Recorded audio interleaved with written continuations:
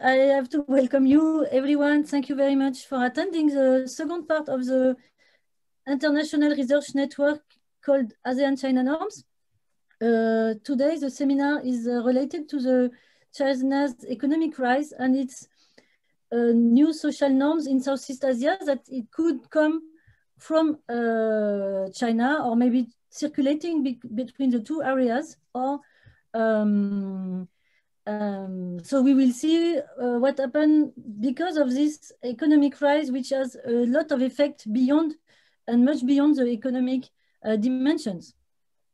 Uh, last week we had um, a, a, fantastic lecture for, from Professor Wang Gungwu, a lecture that will be commented today by Robert Boyer, uh, a great economist from France um, that is studying the diversity of ASEAN capitalism from more than uh, 15, 20 years.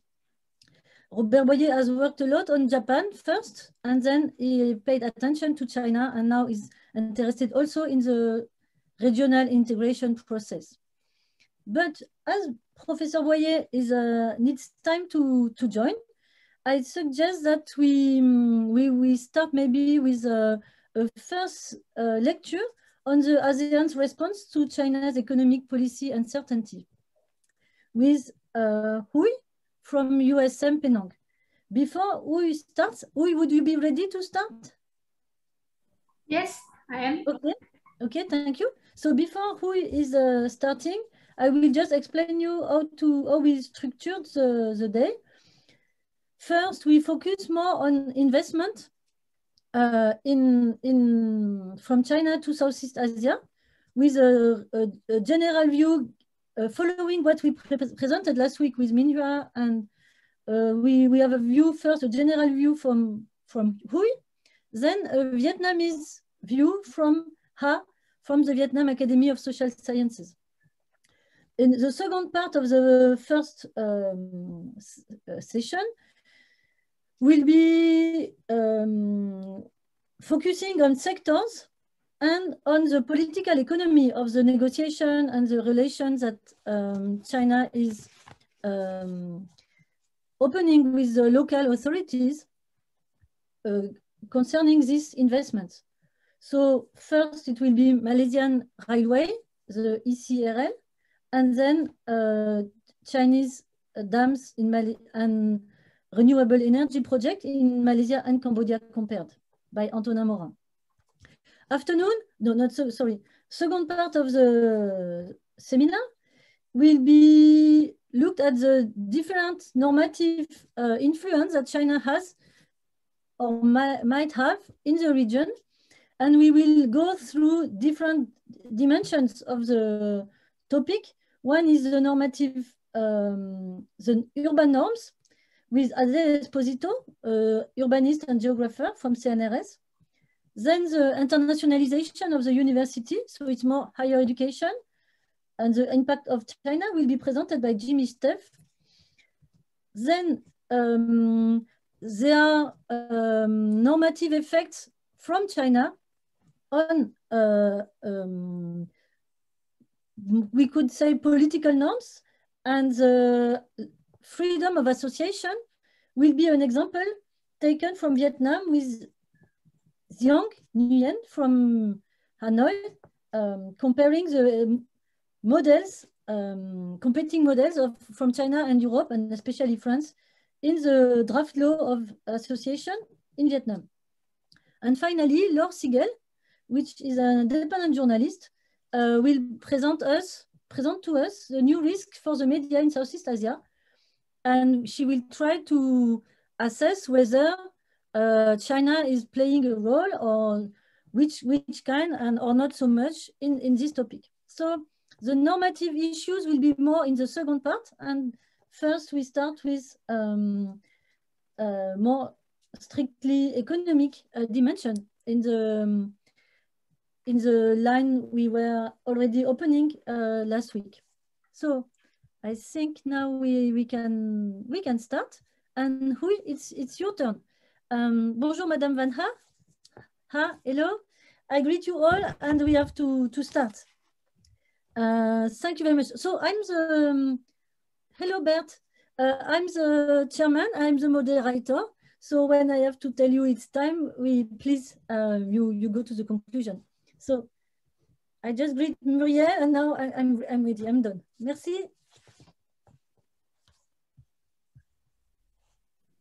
Okay, so let me start, huh? Yeah? Yes, please, the okay. floor is yours. Yeah, uh, share my screen.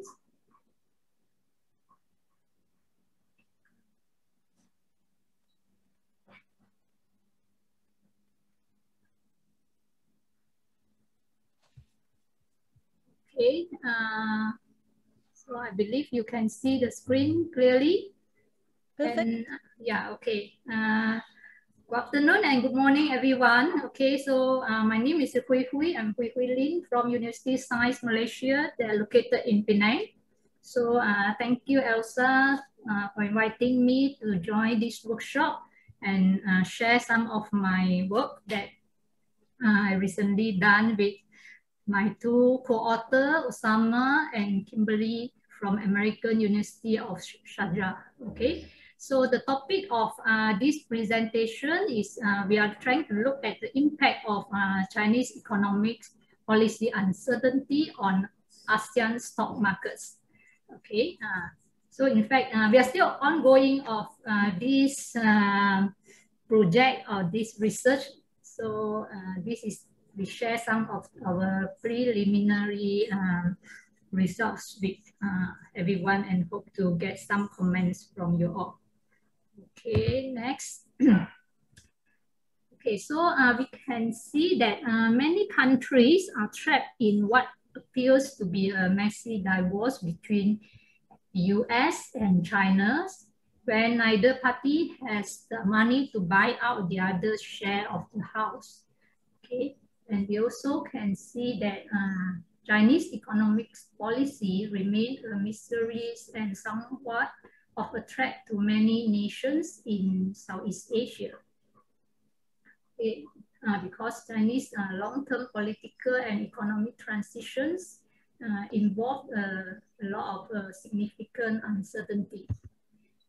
Okay, and also on the other hand, we also understand that the performance of uh, stock market is highly reliant on the government's economic policy.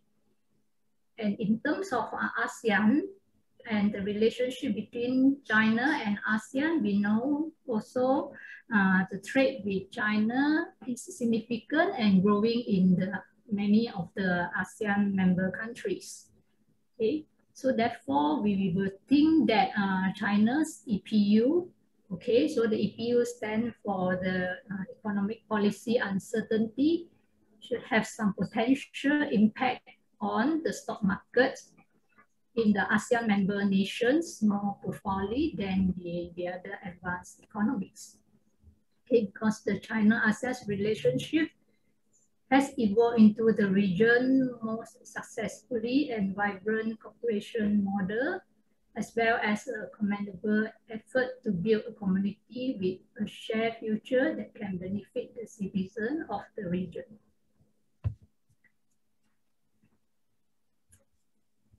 And also we understand that ASEAN has been a significant recipients of uh, Chinese FDI inflows over the year Okay, like for example, since 2015, there has been a remarkable growth in the flow of Chinese FDI into the regions.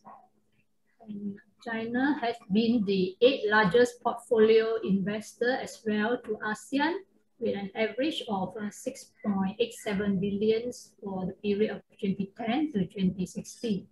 On the other hand, China, uh, China is also one of the largest recipient of ASEAN portfolio investments with an average of 77 billions for the same period.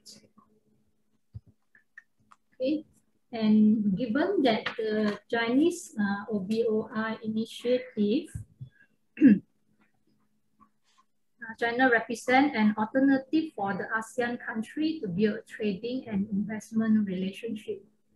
And at the same time, there has been ongoing back and forth conflict between the US and China regarding trade between the two countries. So we can also see that uh, the, we also involve this US uh, in the study because uh, we believe that the US political and economic policy toward ASEAN states it also has the impact, but then the, the impacts will be inconsistent. So therefore we ask that uh, how has the uncertainty about these economics and statecraft decision impacted ASEAN stock exchanges? And therefore we try to use this economic policy uncertainty to answer these important questions. Uh, some empirical study have uh, found that uh, neighboring countries such as Malaysia are more integrated with China if compared to the US and the Japan.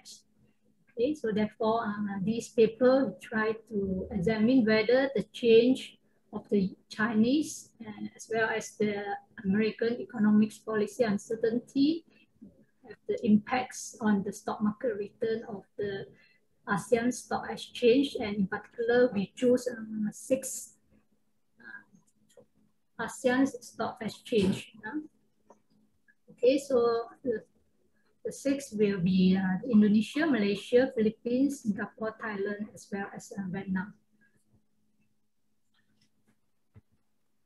Okay, so uh, let me just uh, give some idea of uh, what is EPU, Economic Policy Uncertainty. Uh, economic policy uncertainty refers to the inability of market participants to anticipate political and economic decisions made by state. The measure is broad and includes uncertainty regarding geopolitical events that have an impact on economic conditions. Okay. Uh, policy uncertainty is associated with unanticipated changes that affect the economic environment and has a significant negative effect on economic activity. In terms of investor, the investor are likely to become more pessimistic when uncertainty rises as they tend to respond to the bad news, but ignore the good news. Okay, so uh, here these are the three research questions we are trying to ask. That uh, the first one is how the Chinese EPU affect the uh, six ASEAN stock markets, uh, examine over the periods of the times that in our study. The second questions will be is the impact of these uh, Chinese EPU homogeneous across these six uh, stock exchanges in ASEAN. And question number three is uh, how does the One Belt, One Road initiative impact the relationship of this, which means uh, between the Chinese EPU and the stock exchange in the six ASEAN market? Okay, so uh, basically this is the methodology. So I will not go through in detail. Uh, the sample period that we are looking for uh, is between January 1995 to June 2020. This, we are using the monthly uh, return. Uh. So uh, this is the, the model that we use that where uh, RT is referred to the monthly stock market return in month T. And then uh, we have uh, EPU China and EPU US,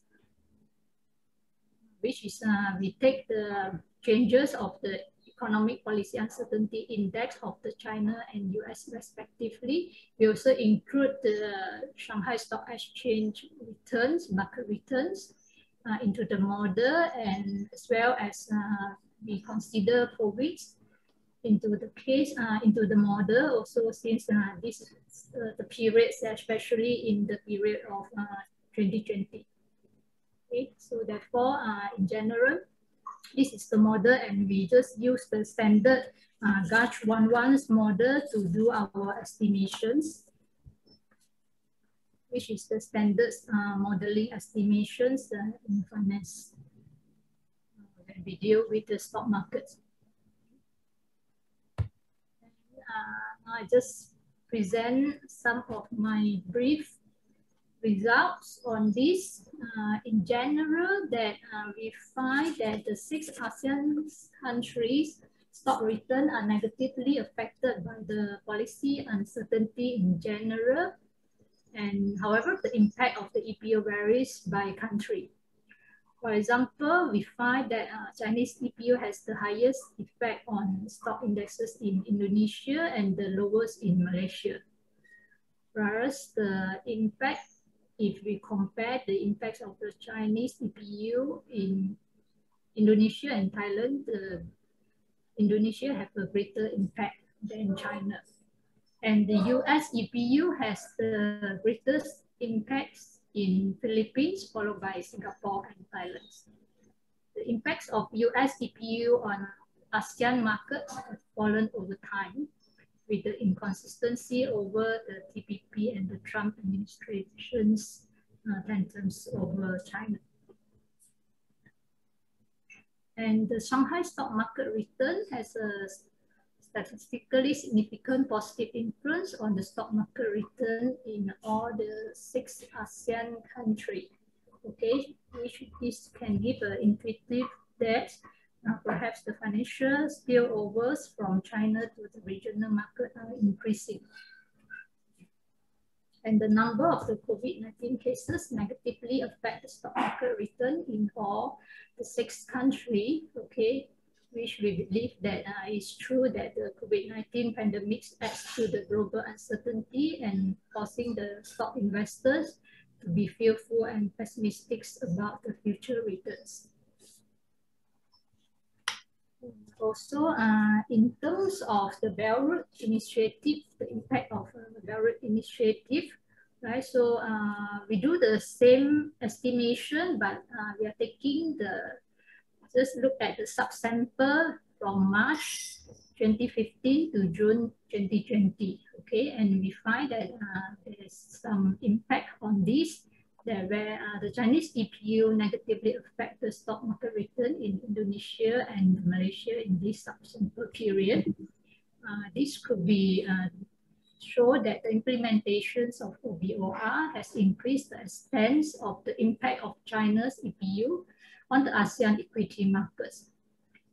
Specifically, if you look at the size of the, the impact, it, it increased from uh, 0.02 to 5 in, during the full sample period and compared with the 0.0361 in the sub-sample period. So therefore, we may say that uh, China's influence over the ASEAN region is growing in part because it brings uh, external governance to these countries and the economic and financial integration between Malaysia and China also became stronger following the uh, Belt Road Initiative. Okay, uh, so in conclusion, that our findings suggest that the ASEAN 6 stock market dynamics and China and the US economic policy condition are strongly interconnected. So indeed, the stock market participants and investors in these six countries should observe the Chinese and Americans economic policy condition before making their investment decisions. And as for the policy maker, perhaps they should consider the impact of their action have on the financial markets and the livelihood of the peoples in the country that impacted by policy decisions and the trade disputes. Okay, with that, thank you for your patience. That's all. Stop my sharing.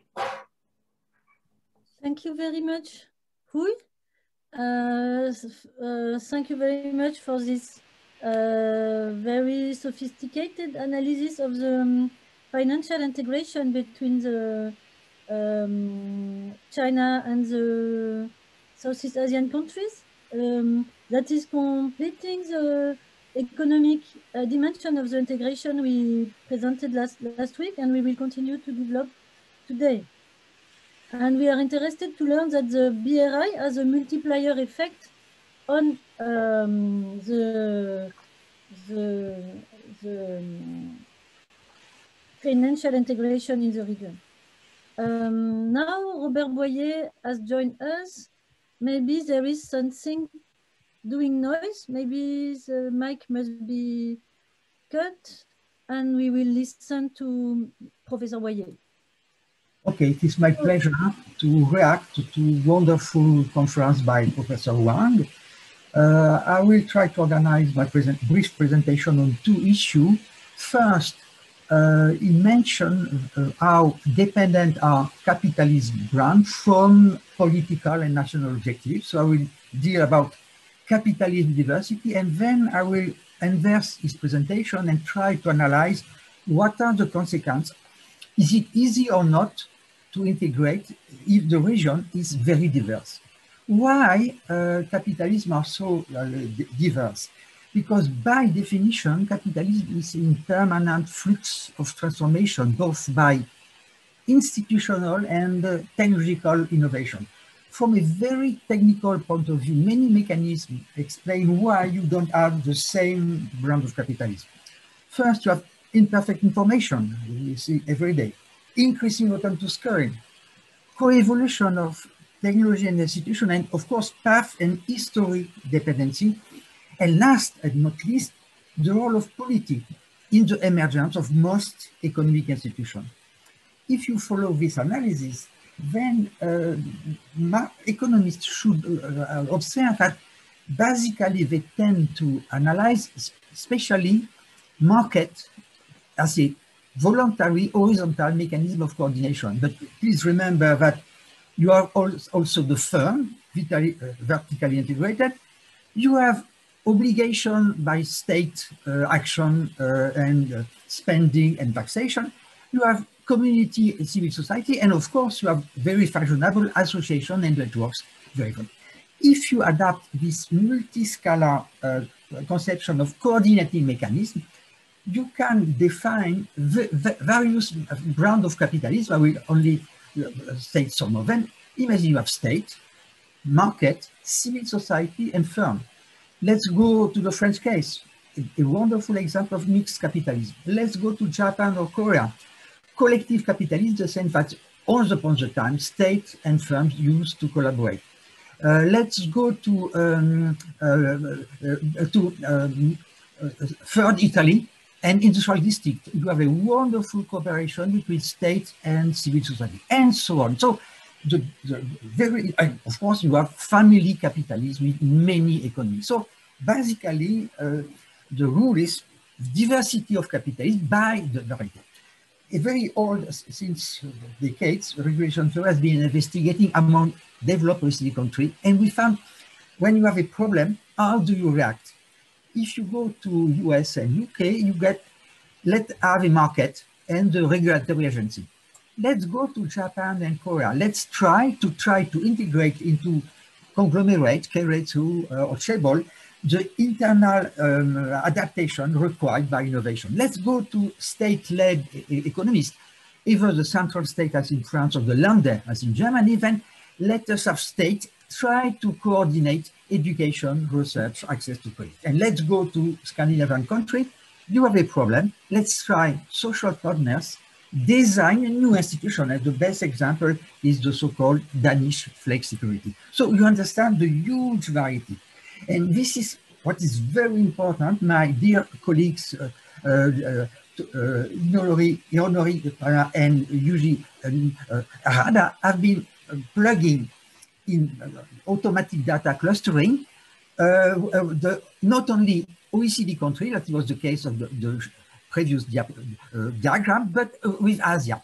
And with two variables, horizontal one, the degree of, of constraint of transformation and the freedom, then on the other side, you have the st strong state external trade dependence, or you have strong regulation of labor markets. And as you might see, you have the free form of capitalism, you have meso-cooperative capitalism, Japan, Korea, and Taiwan, and you have, you see, Singapore and Hong Kong, definitely uh, different, different branch. Uh, Malaysia, Thailand uh, and China belong to another side, and uh, you have Indonesia and Philippines. So clearly with this, and observe the big discrepancy of this form of capital. And third result, very important, if you compare from one decade to another one, nobody is converging toward a single best way. You have a still a strong specificity. Each capitalism is, for example, opening to innovation, to some sort of some form of derogation, but basically they stay within the same region. So clearly, historically, historic matter. what is the problem with uh, financialization and uh, uh, opening to world competition? You have three criteria to assess the merits uh, and the weakness of various capitals. The first one is short-run flexibility. This is the standard neoclassical model. Remember that in the 40s era, it was dynamic efficiency, the ability to improve productivity and standard of living. And last but not least, you have equity. These institutions have to be uh, legitimized by the, by the feeling by population that they are fairly, uh, have a fair, fair treatment. If you look at the danger of deregulation and intra-competition is move of deregulations toward the short-run flexibility in the sense that if you are slow to react, it was the case, for example, of Japan or Korea, you will be uh, overgrown by the short-run flexibility uh, typical of American capitalism. So the, the, the, issue was, will capitalism react, uh, resist? And here, it is a kind of uh, a tribute to Karl Polanyi because if you look carefully, uh, uh, you can imagine that spontaneously, capitalism without any political control will destroy nature, will destroy money in the sense of privatization of money, for example, by crypto money, and finally convert labor into a typical commodity with all the problems about inequality and misery. So uh, the basic interpretation of regulation, if states and democratic process are strong enough, they can impose a concept of justice, uh, direction for the national system of innovation, tame capital market in order to embed long-term view and not only short-term. You have to organize training and education to have a high value added uh, industries. And of course, you have to organize industrial relations in order to try to solve peacefully the capital labor uh, conflicts. And it's, if you do so, maybe you have some form of capitalism much more efficient than the uh, norm, that the typical American capital. This example would be the so-called German economy with social market economy, social in the sense society is embedding capitalism and then firms have to adapt and they can become very competitive. So the, the end of the message is clearly on this side, diversity is here to last and some political constraints are very important to begin. So let me turn to the first part of Professor Wang, capitalism, uh, diversity, and regional integration. As you pointed out, uh, the big um, weakness of most standard neoclassical economy is they start from today uh, without any historical retrospect. But history matters, and I will try to show uh, uh, how. And of course, second mechanism, so you have an inertia factor. But remember that capitalism is among the most innovative um, socioeconomic regime ever invented in, in, in, the sense that observe the speed of uh, invention of vaccines uh, in order to fight uh, against COVID. So in the sense, clearly you have a, a, a duality, inertia of the choice, but clear. And in this context, regional integration is a learning process. And you are, in a sense, as the previous uh, presentation pointed out, you have to reduce uncertainty by having collective rules in order to prevent. And again, you have so many forms of regional integration. At the very strict beginning, it's only a, a question of uh, international trade and free trade.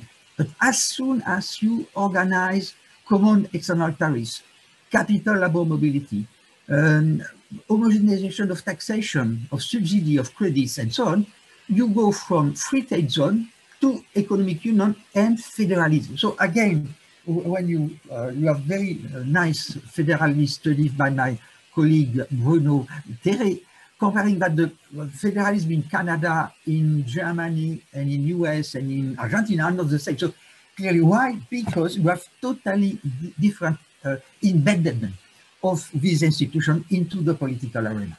Let's review quickly European integration. What is very interesting, it is it has been taking six decades. And what has been very interesting is a permanent deepening and extension. At the very beginning, you have only a very limited uh, country, six of them. And then progressive by attractiveness of the um, large market, you have an enlargement, but simultaneously you are deepening. And one uh, very important decision has been to launch the euro. If we want to, to have fair competition, you cannot allow competitive devaluation due to um, national macroeconomic imbalance. And therefore, you create euro. And at this stage, so, uh, a large part of European countries do not uh, want to belong to euro, and they continue to, to be part of the eurozone, but not of the uh, euro. And then you have a multi-level organization. What is very surprising with this model it is that it is based on crisis. Why? You can interpret all the history as a response to crisis.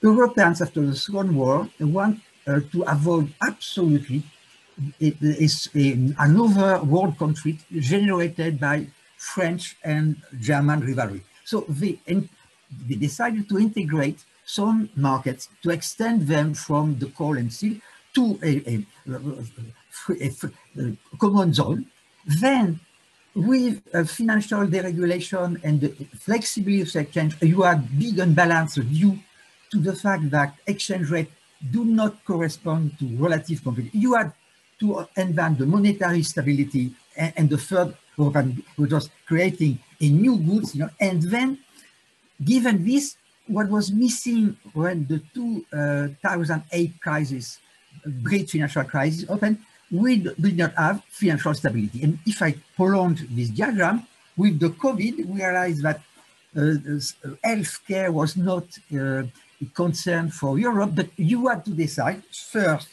common industrial policy in order to get vaccine, and second, joint um, uh, reflation plan in order to prevent a cumulative depression. So uh, you understand clearly what, what is very puzzling in the present period, will the COVID crisis be the next stage of an integration, or is it the proof that uh, this uh, uh, configuration cannot exist anymore and we can we necessarily have to go to a more federal state? If I look at the ASEAN, it's much longer because clear, and you have a much more, um, in the case of uh, France, uh, of European integration, you begin with institutions. What impressed me looking comparatively is that you have a very uh, step-by-step -step learning process in which you try to integrate various forms very slowly with modest and uh, uh, what, what, what, was the founding uh, blocks of Europe uh, derived from a, a longer process of evolution and you have a permanent adjustment not only to external uh, financial crisis, for example, the major role of the ASEAN crisis of 1997, but also to the reaction of the world economy. And what is very impressive for me here is the ASEAN economic integration, and you have two evolutions. The world economy, which is in a sense allowing integration by export-led strategy, but also generating huge instability due to the instability of the international financial system. And the other side, you have inter international organizations which have been helping in promoting multilateral trade before uh, previous um, uh, American trade. And what is very important for me is that clearly you are, um, uh, now in a better position given that your institutions are now adapted to uh, preventing the repetition of uh, financial crisis. I remember that Asia went very well in the uh, uh, the new crisis, uh, financial crisis in 2008. And second, you, you have been observing incredible efficiency in fighting against the COVID. So clearly, uh, this is a question. And how should I conclude? This was the conclusion of a book I edited with my Chinese and Japanese colleagues. First, capitalist diversity is not eroded by globalization, it's here to stay. Second, and it is a very dialectical, structural limits of globalization makes integration attractive. For example, uh, when uh, President Trump decided uh, America first, you had a kind of cohesive movement within Europe. We will go alone without the US. So first element, if uh, multilateralism is failing, you can turn to regional integration. And what is second attraction of integration, maybe it could be uh, a step in order for negotiating in another international regime. It cannot, uh, all, all, the two, uh, 250 countries are difficult to, to, um, to bargain. They have to organize regionally and then to try to defend their collective interests in building the pillar of a new international regime. And if uh, it is a very short summary, I cannot demonstrate it, two successful uh, conditions for uh, success of integration, comparing Asia and Europe. First, limited size and power difference. In the case of Europe, all the countries were bankrupt by the devastation of war. So it was a kind of, everybody was equally poor uh, and desperate to, to build again. So limited size and power differences as a precondition for supranational institution building.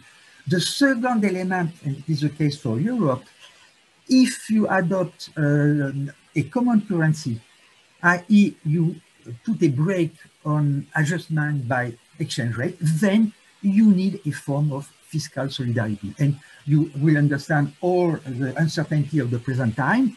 Will the June uh, 2020 pact in which uh, European will spend uh, 750 uh, billion euro to help on, a, on a solidaristic way in order to overcome the, is it an exception or is it the starting point of federalism? And you understand our history master. So let me put some references. First, a, a first book with my colleagues uh, um, on the diversity and transformation of the capital. And more recently, uh, Elsa and a colleague of mine, Claire, are editing a book on capitalism, Asian capitalism, and the most recent book I've been summarizing is on evolving diversity and interdependence of capitalism. So thank you so much, Professor Wang. You have been stimulating very much my own thinking. I'll be very delighted to try to cooperate again with you uh, in the future. Merci beaucoup, cher Robert. Thank you very much. Um, we have to, unfortunately, to, to shift to the next presentation. And I, I know that already uh, in Q&A, there will be question to your analysis. Thank you very, very much. And the cooperation between the CNRS and NUS at the East Asian Institute is uh, on, on the way, and Professor Wong and Professor Boyer will, will work together in the, in the next months. We are very happy of it. So please, Ha from the Vietnam Academy of Social Sciences, we are waiting for your presentation on Chinese investment in Vietnam. New trends, industrial issues. I thank you very much. If you are ready, you have to share your screen and, and please, we listen to you. My presentation is very simple. I, I would like to, uh, to provide to all of you very uh, brief picture of China investment in Vietnam. Okay, as you know, uh, China stepped up uh, her investment in uh, 1999 because with the going global strategy. So it is a very effective strategy for China to accept with the country where China can explore the Im and import the raw material and fuel for her manufacturing sector. Uh, but after the 18th Communist Party National Congress of China in 2012, the Chinese government are looking for new impetus from abroad to improve the quality, efficiency, and competitiveness of economy. And such as the opening of the border, implement policy and inclusive model for economic cooperation transportation and cross-border payment. Infrastructure connection, as we know, is the Belt and Road Initiative. On the other hand, China has been increasing her role to the global economy, effort to build a new economic order.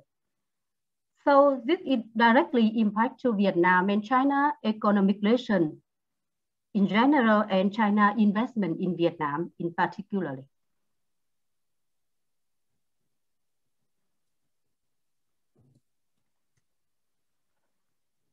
Next slide, please. Yes, but uh, my computer just stopped. Wait a minute, let me share again.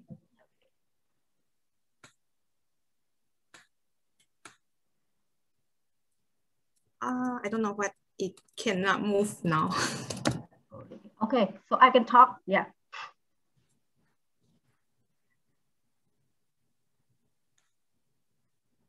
So is, is the slide not moving?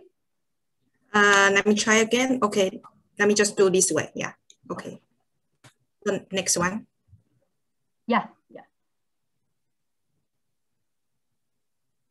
Uh, yeah, China is recently the uh, China ODA is uh, developed very quickly. Uh, in 2012, China had risen to the world third largest outward direct investment with a total investment about 87 billion US dollars, and be, that behind the United States and Japan. But uh, 2015, for the first time, China became the second largest outward investment, just behind the United States.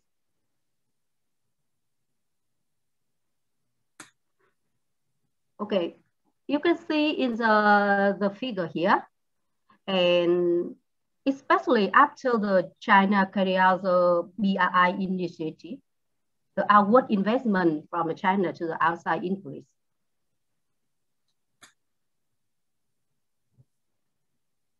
I collected the data from China, and we can see in the, among the 10 uh, countries along belong to the BRI uh, initiatives, uh, Vietnam is uh, ranking number five in 10 countries get the uh, investment from China.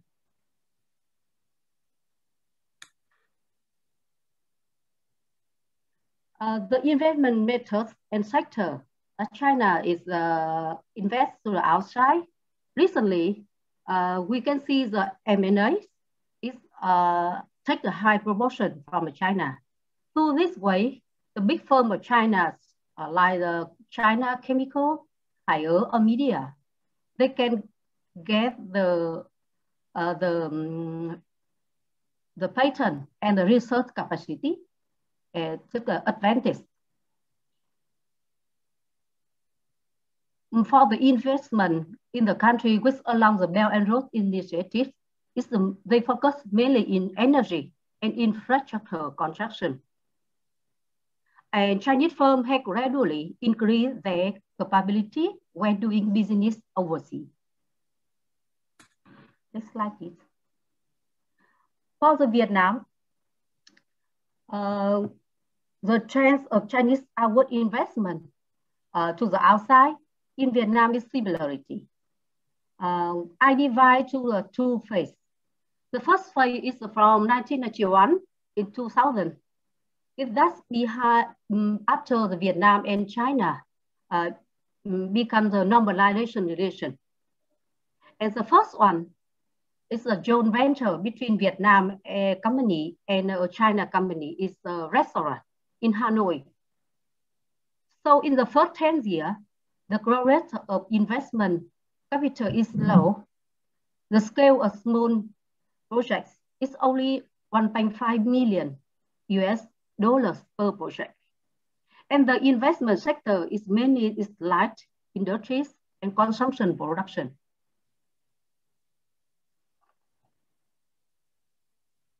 Next slide, please. Okay.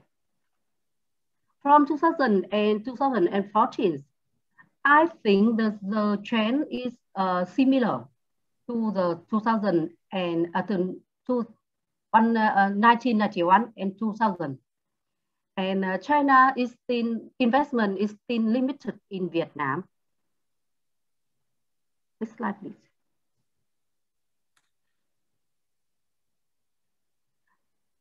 But when I research more after the China, they carry out the BI initiative from 2014 and 2019, the investment from China to Vietnam increased significantly. Uh, you can see in the, in the figure here,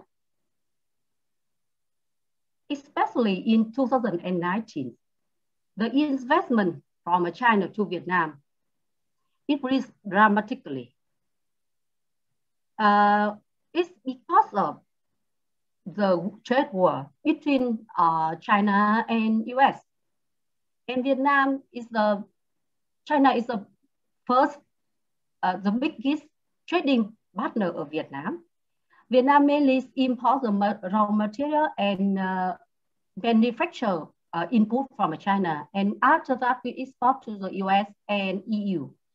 So when the, the trade war uh, um, happened, uh, a lot of China investors, they come, they come to the Vietnam and invest more in Vietnam. And after that, the product can export to the uh, developed countries like US or EU. Next slide, please.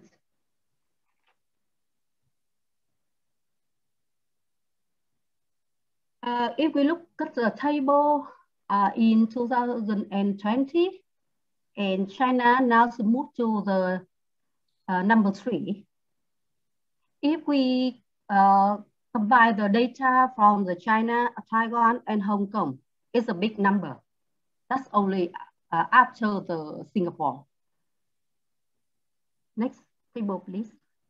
Next slide, please.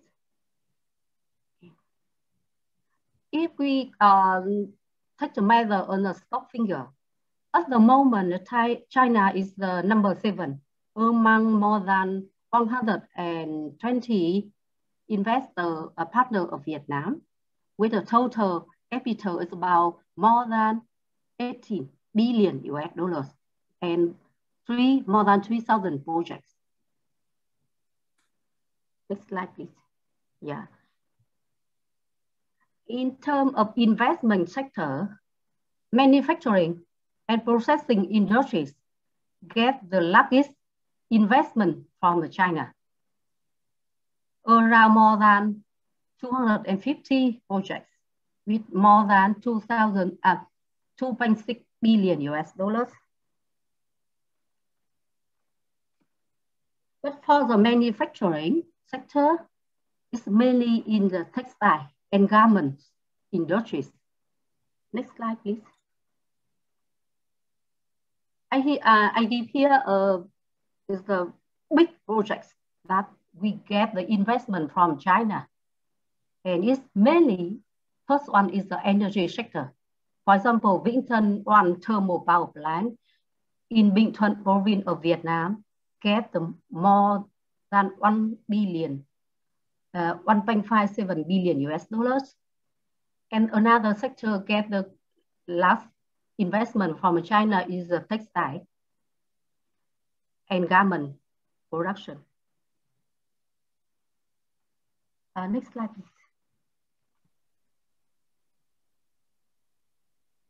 Thank you very much. Huh? Maybe you have to conclude uh, quickly uh, okay, now. Yeah. Two minutes, but no more. Thank you.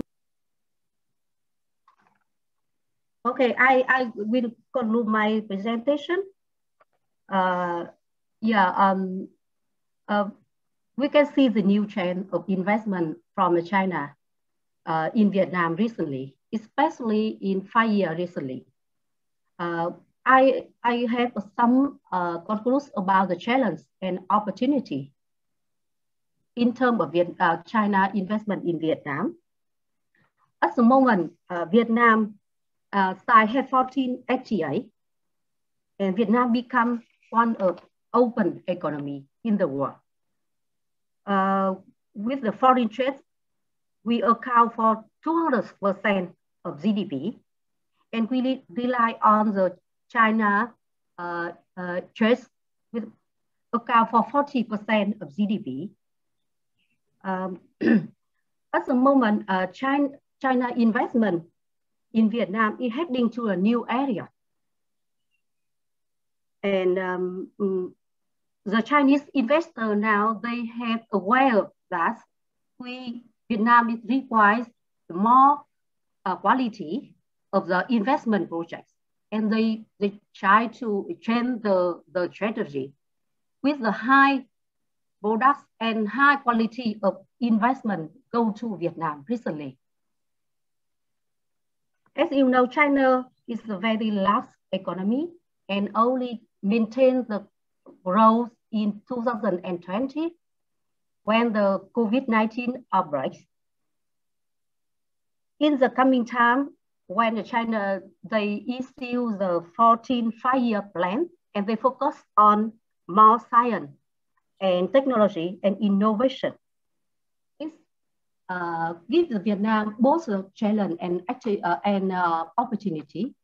The challenge is that uh, maybe more, you know, uh, outdated, low projects um, will go to the outside and Vietnam become, become one a place of a Chinese investor.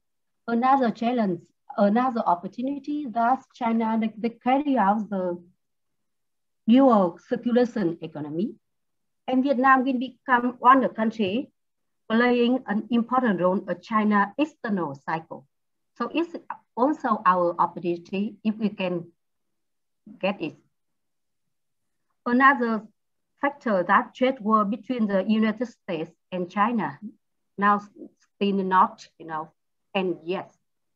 So it gives the Vietnam it uh, uh, a challenge that uh, some, you know, investor from China, they go to invest in Vietnam to transcend, transcend, uh, trans transshipment point a good from China I can export to, to the US.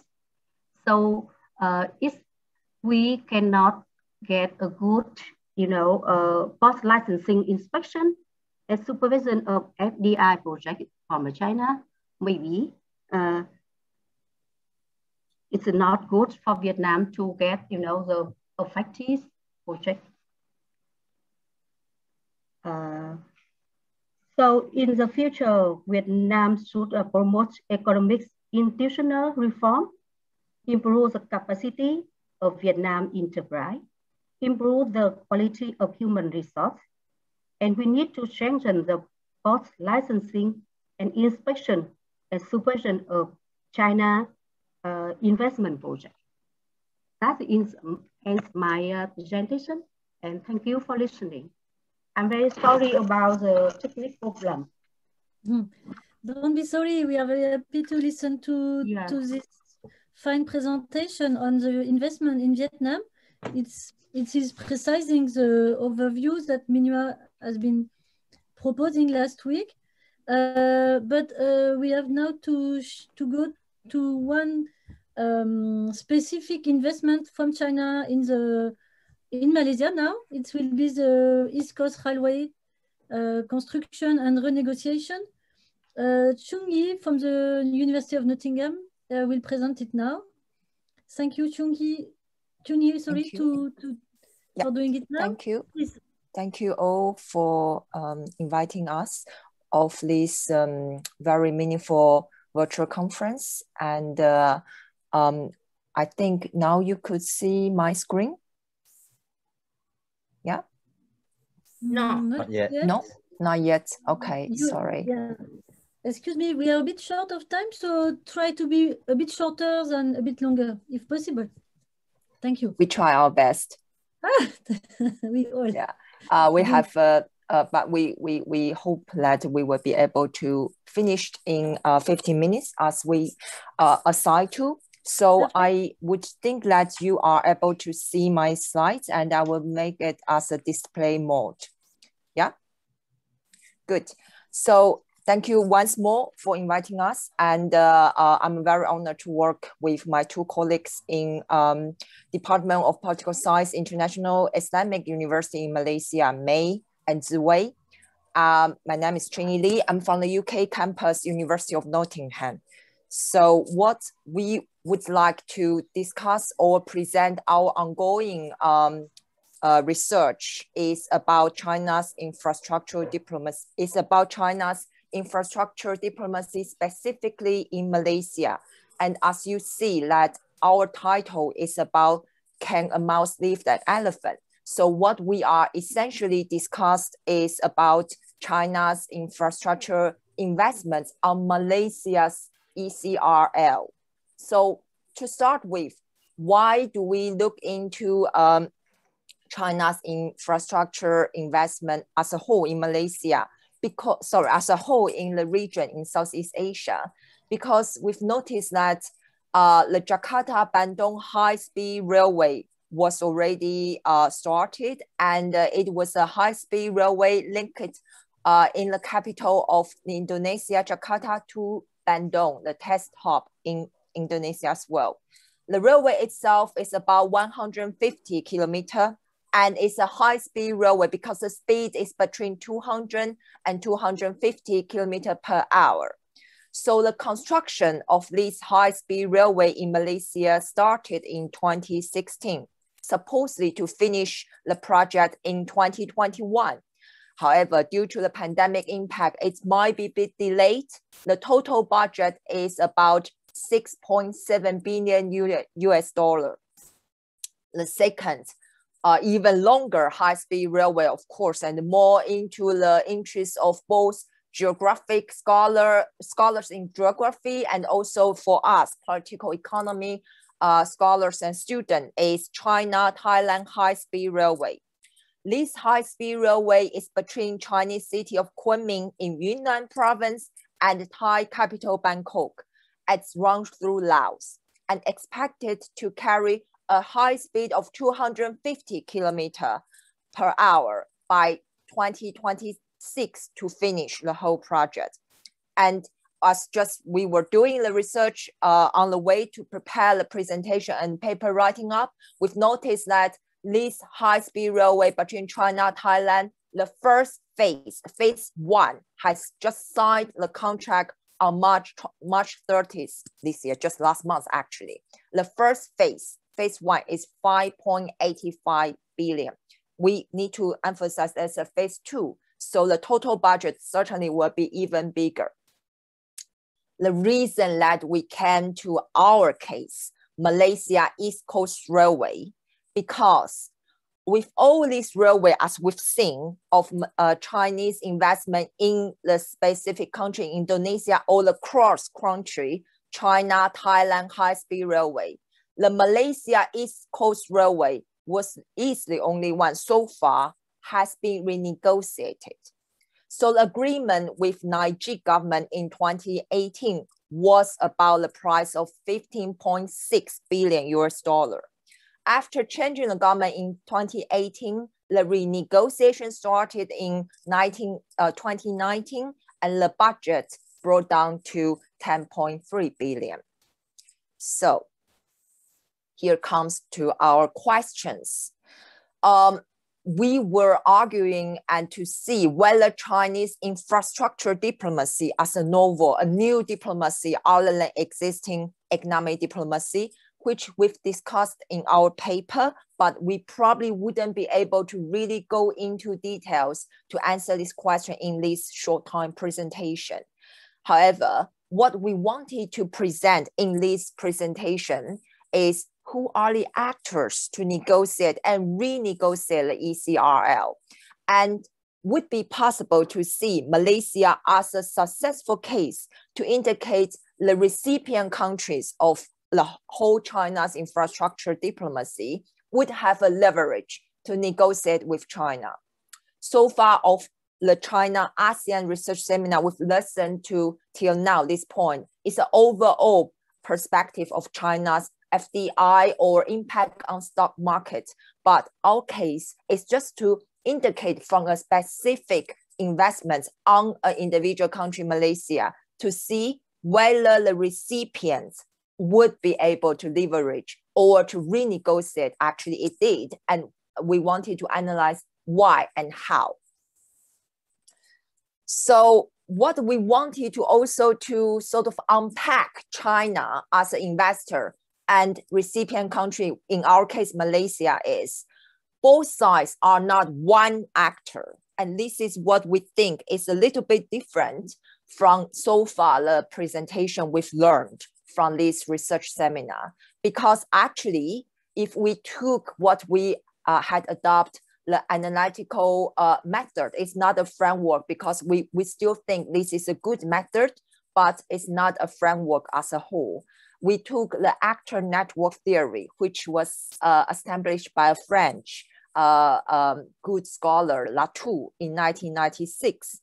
And uh, defined the actor actant as something that acts or granted by other activities. So all these negotiations or renegotiation or investment actually are motivated or coordinated by different actors.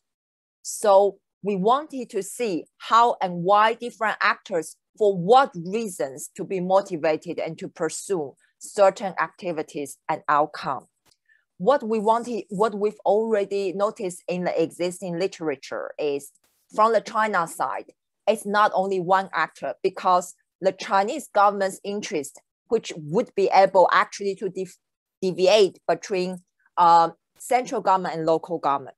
And also, it's not necessarily coincide with the state-owned enterprises' interest. How do they reconcile? This is what we wanted to find out. More so, we also realize that Malaysia is not only one the recipient country.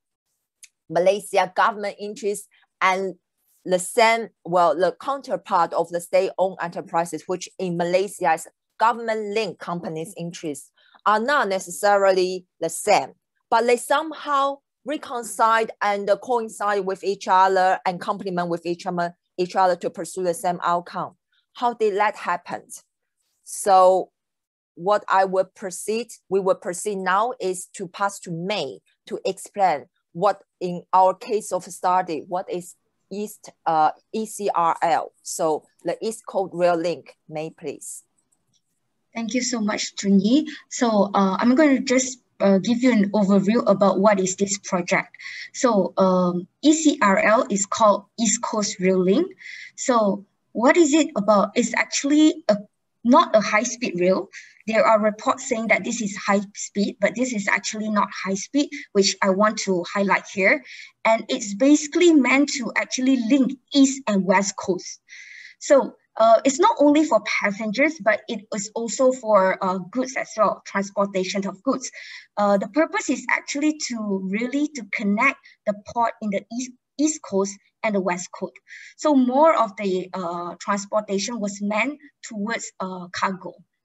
And again, I want to emphasize here that this is not an FDI because this is at most a local investment, which uh, in which Malaysian government actually took loan from Exim Bank, China. So there were many expected benefits at the start when the government proposed this project. So the fundamental one that the government say is to close the development gap between the East and the West Coast. So East is um, historically will very uh, is is still uh, very much less developed compared to the West Coast. And later on, you can see the map where is East, where is Coast, uh, where is East and where is West. And not only that, uh, it, it allows um, job creations. It were expected that uh, due to this project, this is the last investment by government, they were expected to create a lot of job, jobs, trainings, by these, uh, also by um, CCCC, which is one of the, uh, which is the main conductor for this uh, project. And not only that, it's going to ease the transportation of goods and people. So now people can actually easily go to West Coast from East Coast um, and it with reduced time, right? And also the goods as well. And most importantly, the government uh, also said that there will be technology transfer from China to Malaysia, uh, especially when um, there is um, sort of like trainings from these um, um CCCC uh, um, for Malaysian talent, uh, as, as well as they're, when they're doing some um, civil works, they will be coordinating with the uh, Chinese constructor, uh, Chinese uh, uh, CCCC. So it's with the hope that there will be technology transfer. So this is the map of Malaysia. So if you look at uh, the west coast, which is like Perak, Selangor, um, and then uh, Kuala Lumpur, uh, these are much more developed comparatively to the west coast. Uh, the west coast would be Terengganu, Kelantan, and Pahang. So you you know that this uh, project is called East Coast Rail Link, right? Because the next um, the next uh, picture will show you that most of the rail will, will be connecting the east part, eastern part, uh, east coast of Malaysia. So uh, here you have two different alignments, as you can see in red and gray color. The, the one in uh, gray color is actually the first alignment proposed by Malaysian government. So after that, because there is a change of government, um, they propose another new uh, uh, alignment. But however, you see everything is quite the same until uh, towards the end where there's a split. So this alignment under the first uh, uh, government under Najib, they go towards the north. Uh, but this, um, the one from the second uh, PH plan, they go for the southern, southern alignment. So that's the difference. So uh, as we shall see next. So before 2018 general elections, the government in Malaysia is Barisan Nasional. So this Barisan Nasional uh, was under Najib Razak, which was the prime minister and also finance minister. He has this idea to actually um, close the development gap between both sides, right? So he he talked to the cabinet about this project, and after that, uh, the Chinese government get to know that the interests of the Malaysian government, so they offer not only in terms of expertise to build the railway, but also in terms of loan. So therefore, uh, you can see the main con uh, the main uh, companies that will be doing this um, uh, real real real link is uh, China Communication Construction Company CCCC. So you can see that there is one actor here which is called Jho Low. So there was no mention of this guy. He was a businessman and also an unofficial advisor to Najib Razak back then. But uh, during a court trial for uh, one of the Malaysia uh, bribery cases, um, the witness said that you know, Jho Low was actually responsible to negotiate this ECRL. So we would say that he's one of the important actor in this first negotiation, as, apart from Malaysian government, China government, and CCCC. And the next negotiation, we saw that uh, in 2018, it was the first time that Malaysia uh, had a change of government. So for the past more than 60 years, uh, the government had been uh, Barisan Nasional, but this time around 2018, we had a new government, which is called Pakatan Harapan. So due this new government, when they were elected, they think that all the projects by the previous government were fraudulent. They think the price was too um, like inflated. So they wanted to renegotiate and they bring this case to China. Before they actually asked for renegotiation, they wanted to cancel it. But there was a clause in the uh, contract which says that if you cancel that, uh, they have to pay a, a huge sum. So therefore, Malaysia insists on renegotiation and surprisingly, China actually agreed to this one. And that's the reason why we, need, we want to find out. Um, so the renegotiation is uh, under Malaysia government uh, when Mahathir was the prime minister. And he actually didn't ask any of the uh, ministers to head the negotiation. Instead, he asked uh, Tun Daim, he was the advisor to the government, so uh, to head the whole task force. So Tun Daim will then pick his own people, his special task force from uh, the uh, various uh, government agencies and departments to go with him for the negotiation. So, uh, and that negotiation, pardon? May, you have one minute to conclude now. Okay. Sorry so, to interrupt you. Right, okay. So basically, uh, it's just all this government. Next. So basically, this is just two different versions of a project that you can see. So the Najib one uh, is 65.5 billion but the renegotiated one is drastically reduced to 30% to 44 billion. So not only that, uh, we have uh, we increased the percentage of local participation uh, in ECRL up to 40% in the new uh, new uh, proposal. Uh, not only that, the partnership to actually manage this one was also negotiated uh, between uh, in the past, it was fully by Malaysian government, and Malaysian firms, but now it will be a joint management between CCCC and MRL. And next, I will pass to Ziwei to uh, continue. All right, thank you, May. Thank you, Chun Excuse me, excuse me, Ziwei. I'm very sorry, but you just bring the conclusion of your yeah, work. No problem. I know I... it's a tentative one, but thank you very much. Sure, I think I'll do it within one minute. So in short, I'm just going to give an overview of the methodology that we did.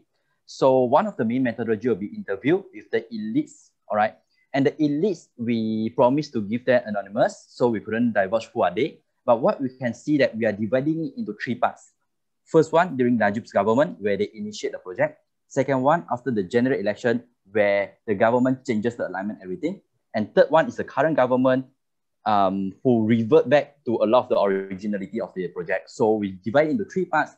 And the people that we interview basically is from the, that we intend to interview is from the prime minister level, whether it's current or former, down to the minister level. So yes, we did manage to in touch with some of them. Which, yeah, we cannot tell who is it exactly. So basically that will be our methodology. So yeah, I think I'll stop here. Yeah. Okay. I, I think we will stop here because I we don't have too much time. And uh, uh, I think what we wanted to say is this is a still ongoing um, analysis, but we unpack the one of China and one of Malaysia. And for us, it's more interesting to see the renegotiation process from different actor. The actor not necessarily is a person, could be an institute. So I will stop here and uh, thank you very much. Thank you. We thank you all of three of you very much and we will be in touch to, to debate and maybe during the question and maybe after the seminar, but it's very promising research. Thank you very much. Antonin Morin now from uh, French scholar from Phnom Penh. Please, your yeah. turn, Antonin. Yeah, I can share my screen. Thank you. Is it all right? Is it all right? Yeah. Yes, please do. Okay, so uh, I will uh, briefly present a street development policy uh, initiated by uh, China in Southeast Asia. Uh, policy uh, policies that frame the establishment of the Chinese public company in Southeast Asia, especially in the renewable energy sector. First one is the Belt and Road Initiative. It's a bit uh, mainstream, but I will uh, cut it short. It, it's good for maybe for those who are not economists or just to kind remember. Uh, borders of the Great Mekong subregion, uh, because uh, this policy, um, it's a lever for the next one, the I, AIMS, ASEAN Interconnectivity of Mekong subregion. And uh, so that's why I will explain maybe more precisely because it's not very well known. First one, uh, the Belt and Road Initiative. On map one, uh, we have like the evolution of the different roads. The first one from 2001 in a red North Road and South Road, uh, it was made for oil and gas transportation. So in the pre-existing line of oil and gas, we have no new roads and highway. Uh, the second one, but it's not uh, very a new one. It's officially quoted in 2006 in the Chinese uh, plan uh, in a bright uh, blue. It's the pearl necklace, but well, it's not really new, but it's part of the Indo-China Pacific diplomacies from the years 1960s, and after it was been uh, improved, etc. And it's targeting some network cities for yeah, for the uh, port, for uh, international uh, exchange, etc. But this road targets some conflictual areas. So in 2011, the One Belt, One Road uh, is more diplomatic and is targeting uh, a capital city. So in 10 years, we had like a huge evolution between pre-existing roads new cities and after a more diplomatic way of uh, China internationalization. Uh, in 2013, all these roads were included in the new Belt and Road Initiative. There is two important uh, dates for the Belt and Road Initiative. it's the summit of the Belt and Road. The first one was in 2017 and the second one uh, in uh, 2018. Uh, I just propose this kind of maps, map two and map three. Uh, the source is from uh, Shanghai uh, Institute. The first one on the left, it's on the official report, and it's quite funny because it begins like as France and England try to do for, centuries, we will uh, construct a, a railway uh, uh, from Kunming to Singapore. So it, when we say China is not imperialism, why they, they, play with words maybe, but still it's kind of a, establishment. The new version of this map um, is on the right with many corridors, Southeast Asian corridors. And it's back in uh, 2019 in the second summit of the Belt and Road Initiative that they changed their communication. And now we're talking not about roads, not about uh, capital or uh, network cities, but we're talking about corridors, the six corridors. Uh, why it's interesting to uh, remind about the Belt and Road Initiative, it's mostly about the communication around. The new strategy, it's made like uh, with uh, point lines, enlarging the Belt and Road Initiative, so now every uh, project in Southeast Asia are linked with the Belt and Road Initiative. I will cut short on the project, but well. Uh, next one, the Greater Mekong Subregion. It's a policy starting 2002, the first one 2002, 2012, second one 2012 for 10 years, 2022. Uh, there is a, a, year that we can remind, it's the year 2014, because uh, it was some kind of conflict with the uh, commission of the Mekong River. And so the Chinese companies and especially Sinohydro became the main actor of this policy in Southeast Asia. On the left map number four, that's the physical borders uh, of the Mekong. The blue line, it's uh, the, the connection with the Mekong, the river connection with the Mekong. And when we, when we say greater Mekong subregion, it includes five ecosystems, the Red River, the Salween, the Irrawaddy, and the Seto. So when we talk about Mekong, it's Mekong, it's the blue lines, but the greater Mekong, it's the five region. It was quite a change because back in 2014, before uh, uh, following the commission, Thailand had much more important parts in the Mekong subregion. And here we are. Uh, it's not a map made by me on the right, the map five. Uh, no, before we had physical borders to uh, frame the establishment of Chinese companies, especially in the hydraulic sector.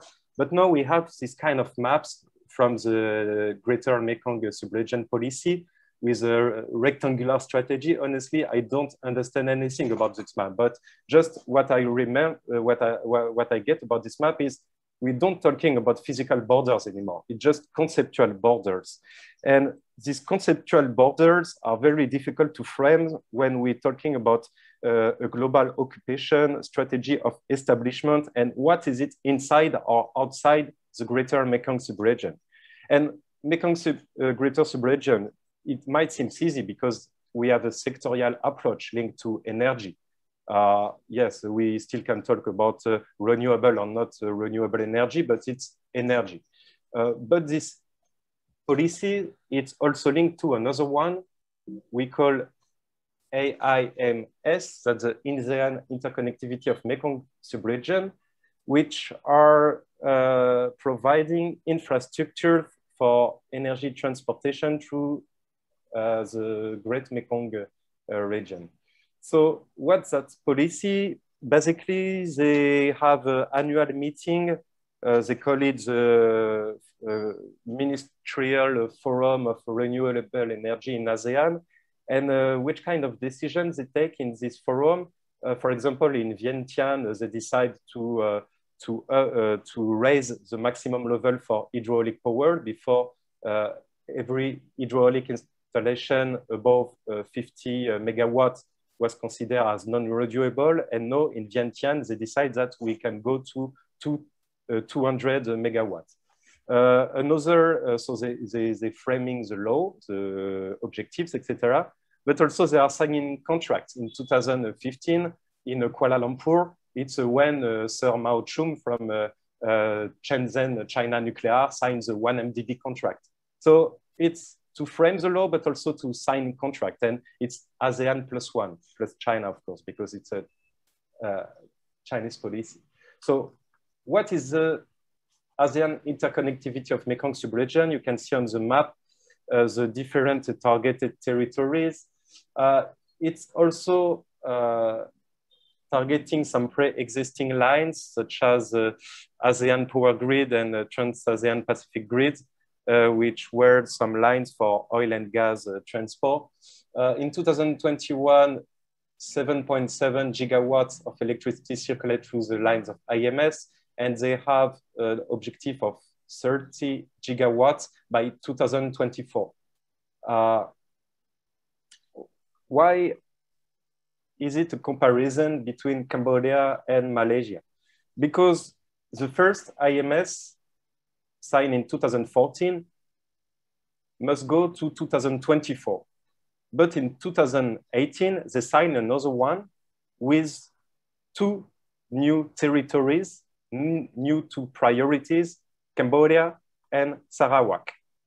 Uh, it's a bit weird to think about the fact that uh, Sarawak, the development of Sarawak is a priority for the development of uh, the Mekong subregion. But well, we're still in this uh, enlargement of the uh, conceptual borders. Uh, I'm not geographer, but I'm not think if there is a river connection between Sarawak and the Mekong, but still it's one of the priority. here, I will present a short focus about what happened in Cambodia following this policy.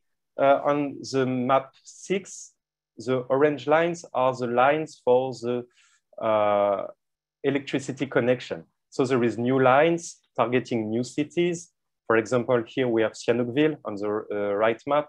And before this line didn't exist, but before in 2017, uh, Sihanoukville uh, get a lot of Chinese investments from uh, casinos, from uh, uh, yeah, especially from casinos. So because the city became so important, they could be part of the ASEAN interconnectivity of Mekong subregion. So the question is, it's the development of the interconnectivity is not really the first approach to developing a city. Sometimes when a city develops somehow for casinos or some other reason, uh, this line can uh, connect or any uh, any cities can, uh, can, can try to be connected to these lines and they will participate to the enlargement of this kind of uh, policies of interconnectivity. Uh, here's the blue. Antonin, Antonin, yeah. merci beaucoup. You have to conclude. Okay, just to quote the work of Christophe Gironde about con, uh, concession, territorial concession. Uh, in Cambodia, back since 2015, it's not listed anymore. And the last point, thank you for the piece. it's it's uh, Akun Sontepip. It's the slogan from uh. You have uh, here and uh, Heng Samrin uh, on the middle. It's uh, two important uh, people in Cambodia. And yes, they are, they, they are benefiting from these Chinese investments. And Hun Sen is, in, is a prime minister of Cambodia for 40 years already. And yes, a last comparison between uh, Malaysia and Cambodia and Sarawak especially, comparing Cambodia and Sarawak, the, the main problem is not the fiscal evasion, but it's more like the huge amount of money entering the borders and uh, yeah, intended for public authorities.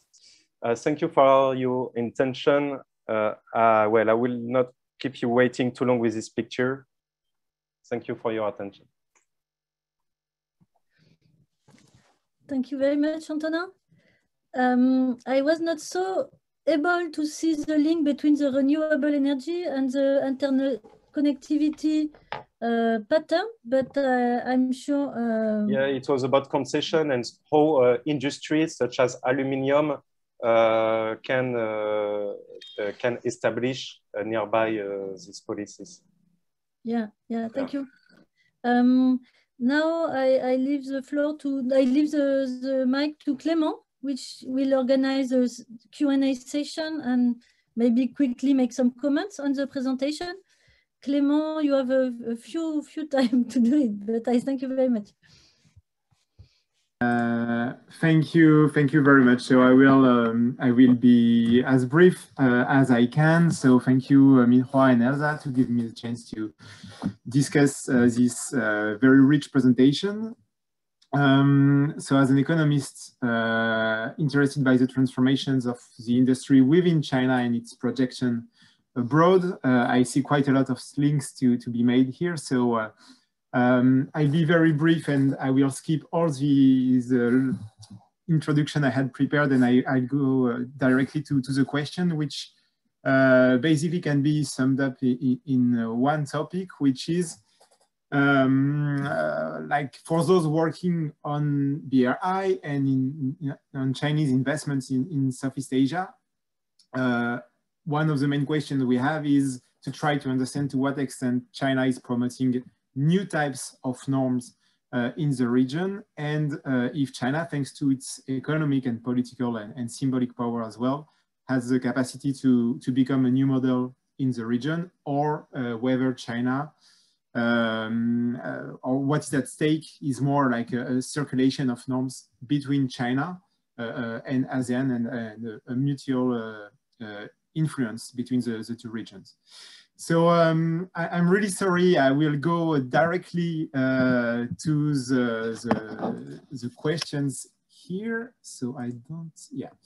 So that's the background question. So for um, Hoilin, uh, would you say that uh, Southeast Asian countries are uh, inspired by the firmly state-controlled uh, Chinese financial model after uh, the 1997 crisis they, they have endured and seeing uh, that the uh, American model of capitalism was uh, really threatened by the 2007 crisis. Um, or on the opposite, do we have like Chinese financial actors which are also finding inspiration in uh, the financial system uh, um, uh, which are today taking place in ASEAN countries and I think especially of, of Singapore here. To Van Houten Ha, um, would you say that uh, Chinese investments in, in Vietnam are uh, only following an economic rationality or knowing the history and complicated relationships between the, the two countries that there is also something else behind the economic rationality. And also, um, would you say that uh, Chinese industrial development model is still seen as a model in Vietnam? Or is uh, uh, the Vietnam industrial upgrading following uh, and catching up uh, following its, uh, its own strategy? Um, for uh, the, the Malaysian uh, presentation. Um, so that's, that was also very interesting, especially uh, if we put it in a more global uh, perspective. Um, would you say, so I had the chance to read the, the whole paper. So um, uh, would you say that China is, is investing in uh, in, in, countries which have closer values, closer norms in Southeast Asia, uh, because it has a, a lower leverage, uh, lower power, if we compare, for example, to uh, America, to the US um, in, in, Central America or France in, uh, in Africa in the, in the 20th century. And also, would you say that Malaysia is benefiting from stronger leverage uh, in Southeast Asia if we compare it with Laos and Cambodia, which allowed it to, to really renegotiate um, its uh, contract? Uh, is it like an exception in Southeast Asia in that sense? To Antonin, um, uh, unfortunately, you didn't have a chance to, to go to the end of your presentation, but um, we know that uh, as like from the very beginning, China has developed a win-win uh, mm, uh, discourse on BRI.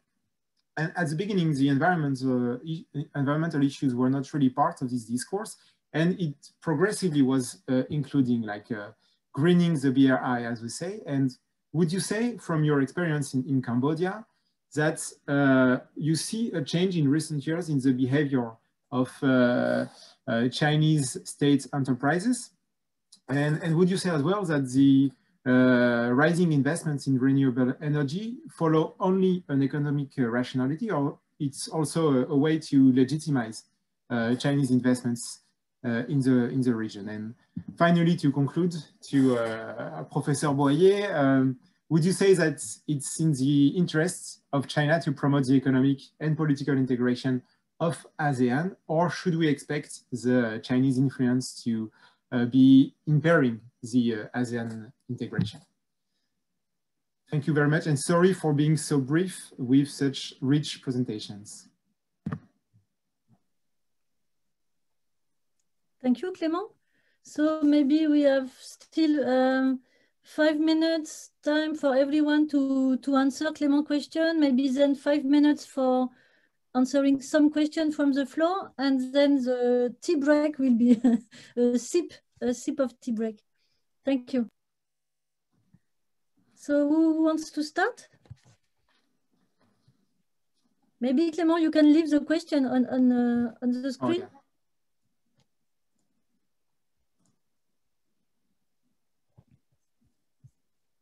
Uh, well, maybe I can start because I was the last to, to talk um, uh, about. Uh, uh can you put back your question, Clément, please?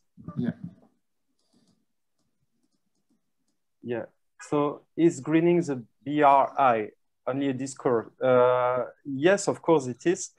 Uh, but still in the project, half of the projects of the included in the Belt and Road Initiative they have a green bonds. It means they are applying uh, the international standards, uh, the uh, environmental and uh, social uh, and governance issues recommended by the UNCTAD, but also some other standards. But there are only standards.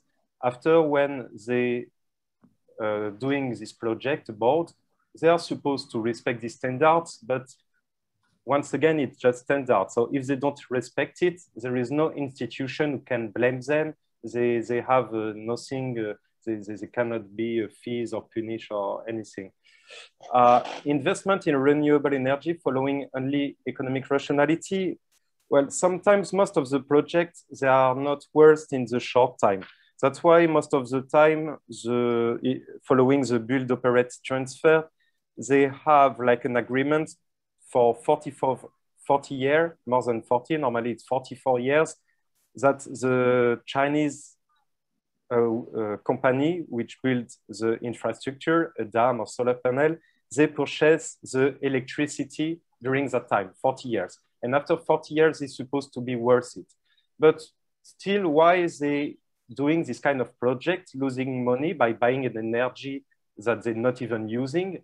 Uh, they, they're not buying uh, the electricity of the Sarawak big uh, dams to transporting to big cities in China. They're buying it, but they don't use it. Uh, but, and it was the point that it was missing in my presentation, Sinohydro, for example, has many, has a very big network of industries, especially linked in the aluminum, in the pesticide, in the iron industries. And we see that when they construct a dam, above this dam, there is uh, uh, many uh, industries and EV industries to, and this industry can make profits. So it's not irrational. Uh, I would like to say it's uh, irrational, but no, it's kind of following the capitalist logic. Thank you very much, Antonin. Um, maybe Huy from USM, would you answer? Uh, would you like to to to Okay. Yeah. Uh, thank you, Elsa and Clemens, for your questions. But I think uh, your question is not directly related to our papers. But anyway, I just try to answer that uh, because like just now I have mentioned that during the period of 2010 to 2016, uh, China has been the, the eighth largest portfolio investor to ASEAN with the average of um, 6.87 billions uh, of the portfolio investment. But uh, and on the other hand, for the same period also, uh, ASEAN's portfolio investment to China is uh, very much large, uh, about 77 billion. Okay, so uh, I think because this is due to uh, ASEAN in general, uh, the stock market or the equity markets is still relatively small compared to China. And uh, we can see that uh, a lot of uh, investors, especially the institutional investor, still think that uh, uh, they can get a good profits from investing in China due to the very significant growth between the, the period of time that especially like recently for this the past or the 20 years that uh, they are growing or growing of the their stock market or equity market or financial market in general. And also on the other hand, uh, of course, uh, ASEAN market also is uh, an attractive to the China companies as well that uh, they try to the, some of the Chinese companies will try to list in the ASEAN stock markets. For example, there are some, uh, as I know, that we listed in Singapore as well as uh, Malaysia. So, we, so therefore, we can see the financial integration uh, between China and also the ASEAN market. Okay, thank you. Thank you. Thank you very much. Ha? Would you like to come back to the discussion?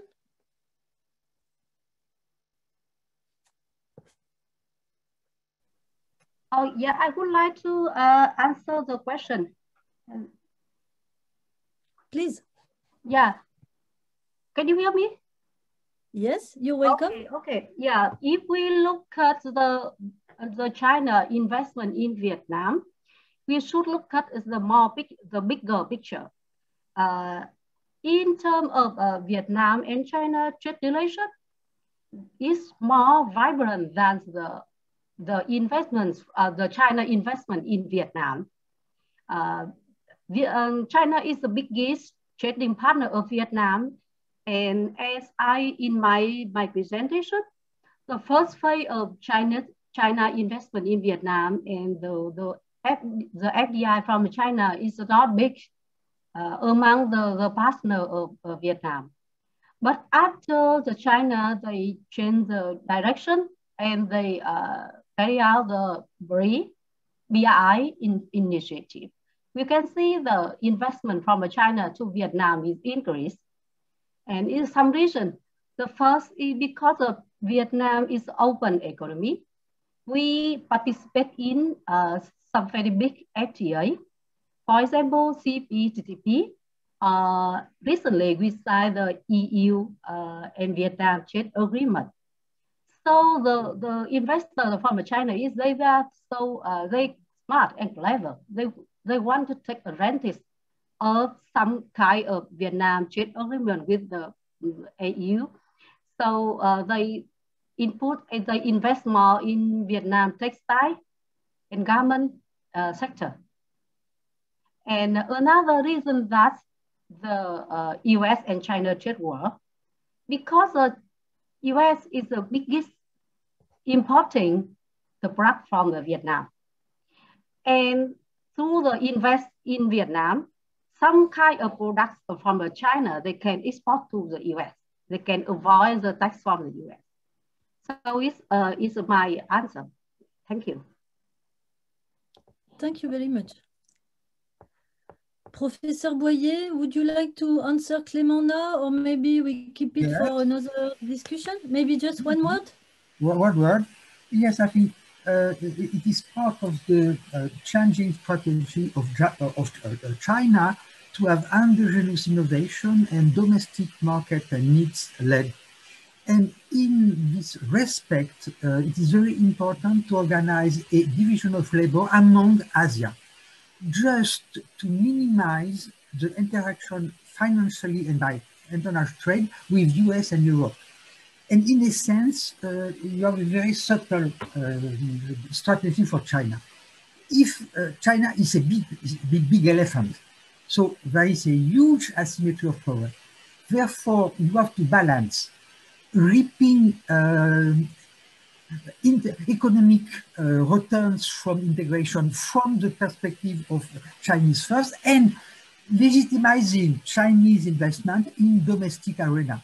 And so it will be a kind of bargaining, moderating the strength of uh, Chinese state firm not to block uh, the uh, regional integration. And like, last uh, element, uh, everything is up to the strategy of United States. With Trump and his complete withdrawal with multilateralism, it was a good opportunity for China to, to, export its own model and build an alliance in order to redesign in the very long term a new system which will be uh, uh, get rid of the domination of dollar. So it is a very complex uh, element, and the story is still to be um, written. Nobody knows if the, the, the, Chinese is so powerful that it could destroy ASEAN.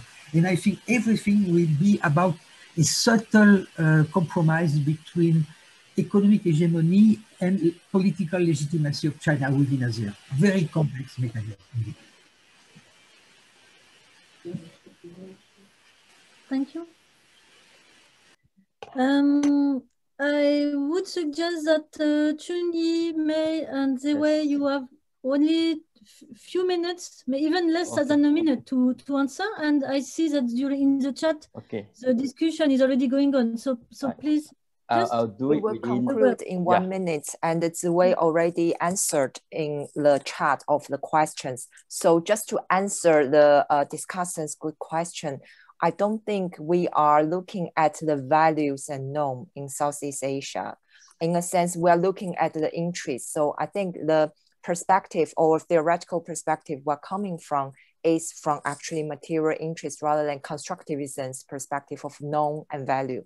Because Ziwei actually also noticed uh, in our interview that it's not about the ethnicity of Malaysia Chinese in, in Malaysia that would enable the negotiation. It is in, from Malaysia's perspective, if there is an investment good for the interest, match to the interest, then it would be able to, to negotiate or renegotiate in that sense. So we are pretty much looking at what kind of interest different actors will be able to bring into. And uh, for the, the second question, the stronger leverage, from what we can see so far, Malaysia ECRL case is the only case that had a, a leverage. So, but it, we, we are not saying that's because Malaysia is very strong. We were just saying that it's because of there are several certain uh, specific circumstances from first domestic politics, like the government has changed and it initiates the, the, the possibility to renegotiate. And the second point is that matched to both China and Malaysia's needs. That's important. And in that sense, that needs, what we wanted to bring out to the table for discussion is it is not China as a overwhelming one direction because in Malaysia case, we see the interaction from the recipient country. It's possible to re renegotiate with China. So from Ziwei and May, if you would like to please also add a bit of more empirical uh, observation, but short. I, I think I agree with you, especially on the second questions. I make it short. We just hit to the correct time and correct person because of our domestic politics. And China have only two ways. One is to stop the project, get the compensation, as I mentioned. Or second one is to renegotiate. So I'll say it's due to domestic politics, which give us the leverage, not because of Malaysia is a bigger or stronger country. Thank you. Thank you. Very much. Thank you very much. So we we have five minutes break. Please um, enjoy it and we come back in really a few moments of time for the diversified influence of China in the region now. Um, thank you very much. I see you in five minutes. Okay, thank you.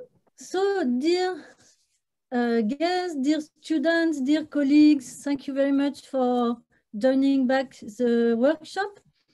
Uh, now, Adele Esposito from uh, Bangkok now, you're in Bangkok now, uh, will present uh, uh, her analysis, preliminary ones, on urban production in Southeast Asia together with the BRI. If you are ready. Yes. Uh, Adele, please, yes. I, I, suggest that we start. Thank you very much. Okay. So in this paper, I'll, I'll present some comparative perspective, which are based on analysis conducted uh, in the framework of a collective research program, in which we looked at the role of the BRI in uh, reshaping Southeast Asian secondary cities. So uh, last week, oh, it doesn't work, the, sorry. We tested it before and the, okay, yeah. Can you say it like this? C'est bon. Yeah, okay. So um, last week, uh, Eric Frécon uh, mentioned a paper that he co-wrote with Delphine Allès, in which they used Jervis' notion of misperception to analyze the gaps between, on the one hand, the understandings of the BRI as an overarching and consistent strategy uh, that would contribute to affirm China's imperialist ambitions, and on the other hand, the strategic reception of the BRI by partner countries who can exert their power of self-determination in selectively accepting or rejecting BRI-related projects and establishing relations of cooperation with countries other than China. If we look at the urban field, we can say that it exists a consistent Chinese urban vision for cities that are located along BRI-related infrastructure. This vision is produced by an epistemic community of Chinese scholars who write numerous papers and books which fit within what Bao Ganghe has defined as the delineated parameters of acceptable BRI academic inquiry. This para-academic production is less aimed at producing scientific knowledge about the BRI than at orienting investments and shaping a collective discourse about the future of the so-called Silk Road cities. This discourse considers cities as key nodes for enhancing and increasing the circulation of goods, people, capitals, and ideas. Henceforth, the network, the nexus, sorry, between urbanism and infrastructure is said to be structural uh, into the trajectories of the urban evolution for these cities. Indexes of global competitiveness are used to imagine a restructuring of the world cities urban network, this time centered on Asian cities. According to a twofold discourse, major economic capitals in Asia would see their primacy strengthened, all while secondary cities would be defined as new urban nodes. How is and up to what extent this overarching and worldwide vision transposed into urban projects. Is this vision misperceived by urban actors or used by them as a tool for self-determination? In the following, I sketch an hypothesis according to which the often controversial and tortuous implementation of the urban projects which are related to the BRI is always underpinned by an exact interpretation of this urban vision, which is used as a legitimating discourse. This is especially true in secondary cities for which gigantic infrastructure and real estate projects would be otherwise considered as oversized and unjustified. However, beyond this discourse, contextualized arrangements negotiate the weight of the Chinese part's involvement in local urban politics as well as their visibility. These arrangements involve three main variables, namely, uh, the degrees and modalities through which Chinese actors access land rights, the financial structures in which Chinese capitals are involved locally, and the role that these actors play in the definition of architectural and urban programs and in the decision-making process. The comparative analysis of the local definitions and combinations of these variables, as well as their evolution through time, may provide some keys for understanding the degree of opening of the local urban arenas to Chinese actors, and the other way around, the measures that Southeast Asian actors can establish in order to mitigate their influence.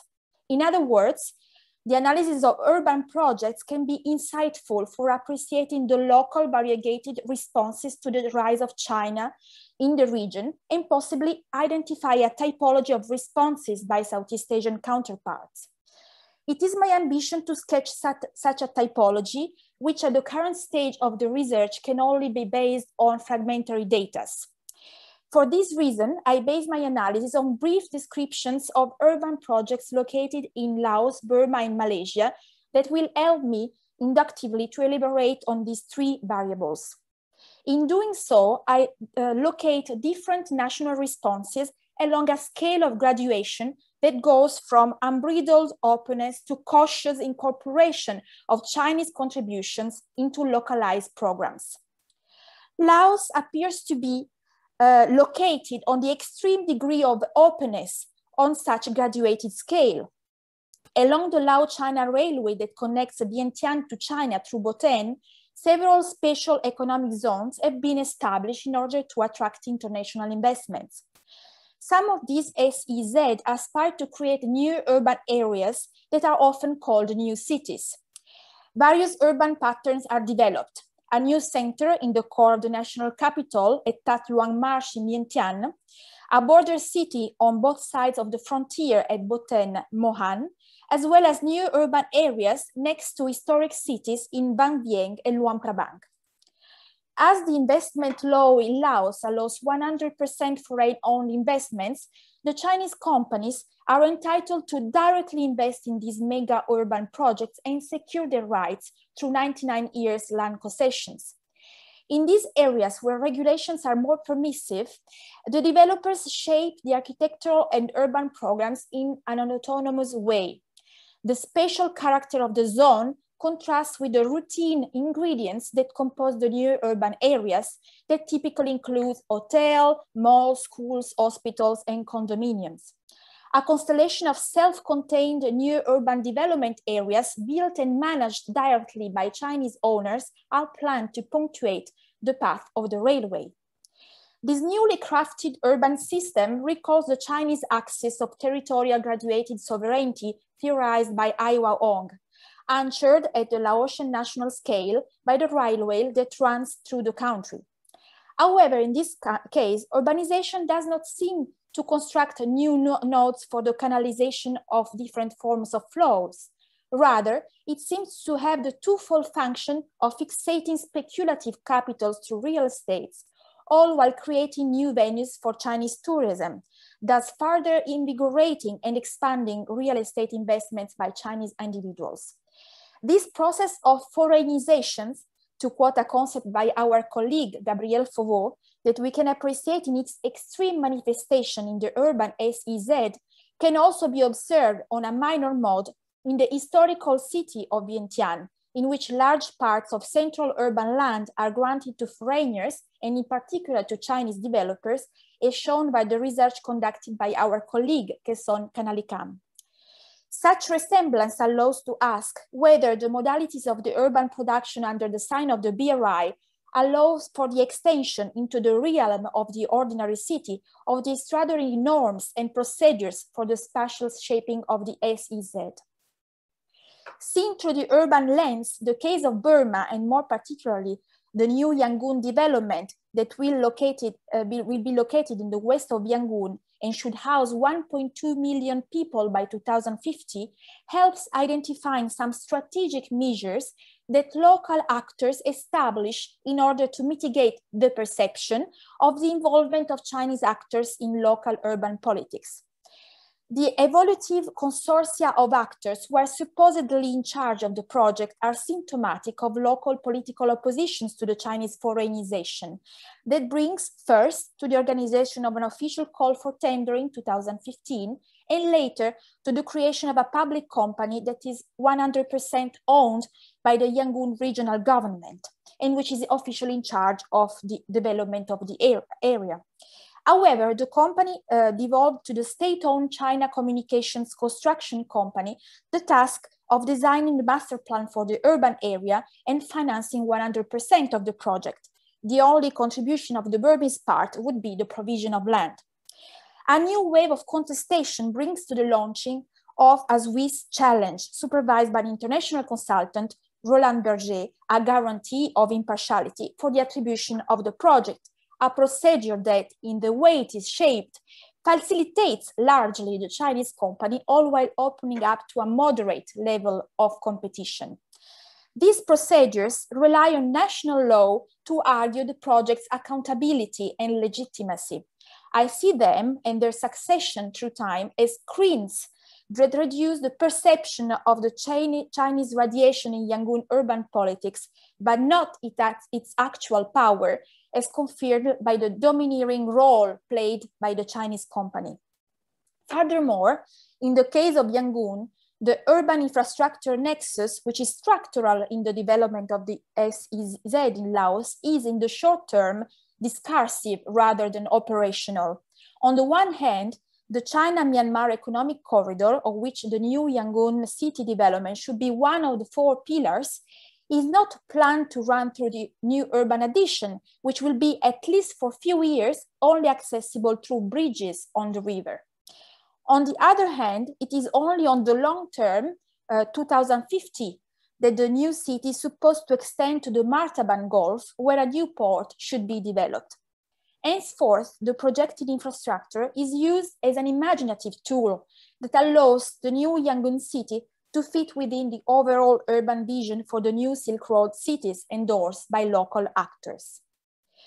The case of the Malacca Gateway in Malaysia represents yet another degree of mitigation of the Chinese interference onto the urban arena. The mega project for a new urban district on reclaimed land that comprises a deep sea uh, port uh, was launched in 2010 and later integrated into the Maritime Silk Road. KAJ Development, a local company specialized in manufacture and construction, was in charge of the project. The company leads a joint venture that initially involved foreign investors of various origins, but then later was narrowed down to a cooperation with Chinese companies that however dropped from the project to let the floor to yet other groups of Chinese companies. The volatility of the composition of the Chinese counterpart is concealed by KAJ's role as the project main designer and manager. In other words, KAJ, a local urban actor, makes a strong claim of self-determination in the urban arena, which is facilitated by the availability of Chinese capitals as well as by the perspective of for the new port to be integrated into the maritime Silk Road. However, political endorsement to the project at the federal level was directly related to previous Prime Minister Najib Razak, whose relation to Chinese diplomatic milieu, as we have seen uh, from the other presentation, and clientelist acceptation of Chinese projects were involved in the accusation of corruption and misuse of funds. After he was convicted, the national governments that came into power opposed this project too, in 2020, the termination of the three years contract, which was granted to the company for the reclamation works and delays in the works caused by uh, the COVID pandemics were used as pretext to refuse the renewal of this contract, despite the company's appeal to court, through which the company has even tried to reinforce its self-determination by fighting directly against the Malacca state on legal basis. This case study shows that the Chinese involvement in the project, in the project and criticisms about it has been incorporated into the national political and legal debate. Chinese involvement is one argument amongst others in the debate that include environmental impacts and utility of the project itself. To conclude, the impressionistic overview of the projects that I sketched here illustrates three degrees on the graduated scale of the reception of the Chinese influence from wide opening and high level of interference in the case of Laos to the incorporation of Chinese contributions, capitals and expertise into the local Malaysian urban politics. The case of the Eastern Economic Corridor in Thailand that I haven't had time to develop here would probably show yet another and more intense degree of self-determination because it plans to integrate foreign capitals, amongst which Chinese, into a national development corridor centered on the urban infrastructure nexus that would connect Thailand to the greater Mekong subregion and the BRI. This overview, I hope, opens up an avenue of investigation on the relevance of the urban lens to measure and appreciate the diversity of responses to the BRI and their entanglements with economic liberalism and nationalisms in Southeast Asia. Thank you for your attention. Uh, thank you very much, Adele. Uh, Jimmy, if you are ready, maybe you could start. every question to Adele can be asked on the chat and also uh, at the end during the Q&A moment. Thank you very much.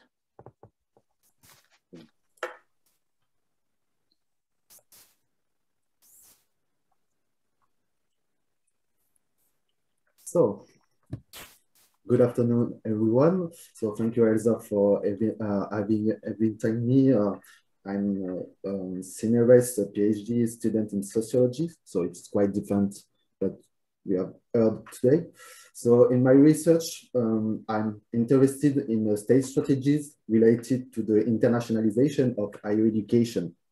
So so today I present to you the building of strategic links between China and ASEAN through student mobility and international branch campuses. Okay. So before I start talking more about internationalization strategies, we need to clarify what internationalization is. This phenomenon should be distinguished from the globalization of higher education. So we have not, uh, I've not the true definition. So these two phenomena should not be confused. They are interconnected, but they are, they are not the same phenomenon. Most of the time, internationalization is a phenomenon that has a positive connotation, while globalization is just as negative. It's not surprising that internationalization is used to describe processes that are linked to the global globalization of higher education, such as the commodification. Also, internationalization is a global process that integrates all dimensions of education. So, this phenomenon was still until the 19th described only by a few universities to stand out in the competitive space. Today, it's become central and generalized and those at all levels, local, institutional, national, regional, international. So that is interesting in the internationalization strategies like student mobility, academic mobility, international uh, program, or international branch campus, etc., etc. They were reactive to follow the development of higher education. Now, their strategies are proactive to predict the future of higher education. So internationalization in both seen as a mean to respond to globalization, but also a goal for higher education. Of course, internationalization is not a natural phenomenon. It's loaded with ideology, fueled by the actors themselves, institutional, institution, public policies, but it is perceived as a good practice that allow improving the quality of education and research. So, so the internationalization strategies are not the internationalization process the strategies fit this process and they are specific according to the institution, the degree levels, the type of university, and it's depend on the country as well. The student mobility and the international branch campus are the most visible elements of the internationalization of higher education. So my presentation today is focused on this point. So now the internationalization, especially in Southeast Asia, it's important to say this region have known in a very short time the obligation to create, develop its higher education and internationalize it at the same time. Higher education in Southeast Asia can be analyzed as future. So Singapore, so you can see the the figures. So Singapore is at the stage of universalizing its accessibility to higher education system, while Malaysia or Thailand is at the stage of massification near to universalizing, and Cambodia or Myanmar has remained at the stage of being reserved for an elite. So more generally, all the countries of Southeast Asia are facing an exponential increase in the number of national students, coupled with a drop in government investment and the obligation of internationalization at both about an important private education sector to support both local and international demand. So there is an, an acceleration of the privatization of higher education in this region. So we need to understand the national context to understand the internationalization that exists in this country. This context flow into the process always, or as well as the global context. So in this race for international development of universities, international students are the most visible part as well as infrastructural elements like the IBCs, so International Branch Campus. So the attraction of international students in ASEAN is very unbalanced. Indeed, given the structural difference in higher education, countries such as Malaysia, Singapore, and Thailand are seeking to develop their position as a knowledge economy and as a regional and international education hubs. At the same time, countries as Laos and Myanmar welcome international students too, but it's remain very marginal. China, through its students, is a major player in these strategies. It is the world's, the world largest source of international students with almost 1 million students abroad in 2018. In ASEAN, there are three profiles of Chinese students according to the scientific literature and what is observed in institutional discourses. Initially, a large majority were students who have failed the Gaokao, is the entrance exam for higher education in, in China, and the students went to study abroad. For example, this student can be found in certain private university in Malaysia or public university in Thailand.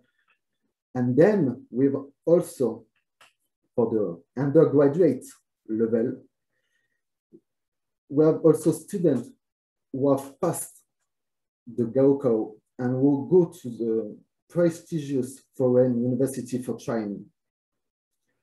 For example, Singapore in uh, like in US or in TU and uh, even in Malaysia too. So UN, University Malaya. So, and finally, there are a postgraduate student who seek to train at the very high level, particularly for research. So, but in terms of data, it is impossible to know what the respective ratio of these three profiles. However, we can see the general evolution of attraction for ASEAN from 2006 to 2017 through UNESCO data combined with data from national reports. So we can see the figures. So there are three trends emerge. So the first trend focus on the countries with a low level of internationalization to, due to their less developed higher education system, but which attract a few Chinese students, but whose ratio is very high compared to the other international students. Chinese are the majority. So we can see the, the Laos or Myanmar. So, but the number is very, very less. The second trend focuses on countries such as Malaysia, which have a very high number of Chinese students, but whose ratio has been decreasing for the 10 years. And the third trend focus on countries such as Singapore and Thailand, which have a very high number of Chinese students, and are the leading um, nationality in terms of ratio. So these trends are to be understood according to the level, to the level of internationalization and development of higher education, and also the relationship between the host country and China.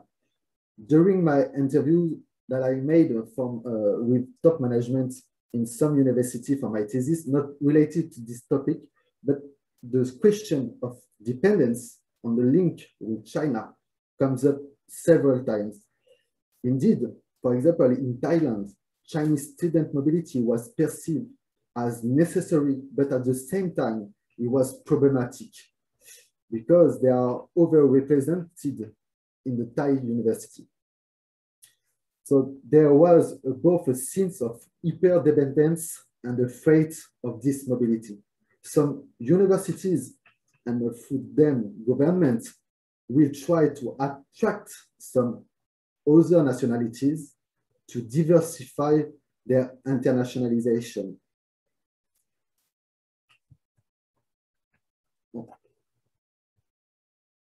So rapidly in the, in the global scale, ASEAN is one of the places where proportionally Chinese students are very present, but only concentrate, concentrated a small ratio in terms of number. So we can see just 6% in 2006 and 4% in, uh, 2000, uh, in uh, 2070s. So however, there was an overrepresentation in 2006 when one in three students was a Chinese student in ASEAN. Whereas today is follow the global trends. So the global trends for Chinese students is 17%. So, so we can see the, the increase of numbers of Chinese students. So the around in the world, but the ratio, particularly in the Western countries, so, such as the United States or Canada or Australia, is very, very high. Jimmy, only two minutes left. Yeah. Thank you. So Chinese students have has been coupled with other internationalization strategies developed by both China, China and ASEAN governments. So we can see effectively the international branch campus too. The IBC are also strategic co-building and of course they are combined with state specific strategies. So for my conclusion, according to Dr. Peter Chen, is point out the IBC or alliances are two-way bridges between China and the countries concerned. In addition, notes that to speak only of soft, to speak only uh, of soft power when talking about these strategies in higher education regarding China is, reduc uh, is, is reductive both for the countries concerned and for China as well. So Chinese mobilities, IBC as well partnerships that China is making with ASEAN university are always in the line with their national strategies and vision. China responds to the need of front-end educational hubs such as in Malaysia, and the development of highly qualified human resources, such as in Laos. Finally, China supports internationalization strategies, and it's one of the major players. For example, if you look the MOUs signed between the University of Malaya and Chinese university compared to other universities, China is the first by far. At the same time, ASEAN also support China's strategies because if you look the outgoing student mobility from ASEAN, we can and we can take the Chinese Ministry of Higher Education figures in uh, 2018, uh, yeah, 2018, international students from Southeast Asia were almost 80,000 80,000 at least. One in five students come from ASEAN. So there is a desire on the part of China to attract these students. In addition, ASEAN appear to be a support for the internationalization of China higher education, which is fundamentally needs to build itself at, as an international education hub, the most important in Asia, and to be competitive with higher education in the Western world. So thank you for listening.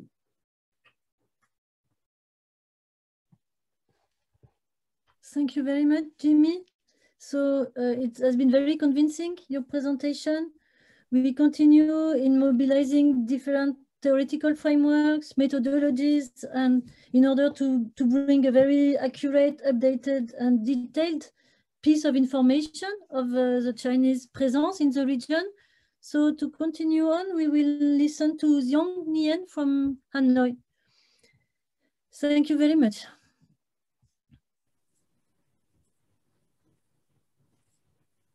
And after Giang, we will have uh, Laure Siegel from Bangkok on the journalist situation. Thank you, Dion. Thank you, Ansa. Um, good afternoon, uh, ladies and gentlemen. My name is Giang from uh, STAR, Vietnam Union of Science and Technology Association. And uh, may I uh, introduce uh, Ms., uh, Professor Phạm Bích San, uh, next to me is former uh, Secretary General of VUSTA. He is a specialist in sociology. And we are very happy uh, today to attending this seminar uh, and have some sharing with you about the uh, law draft of Association of Vietnam.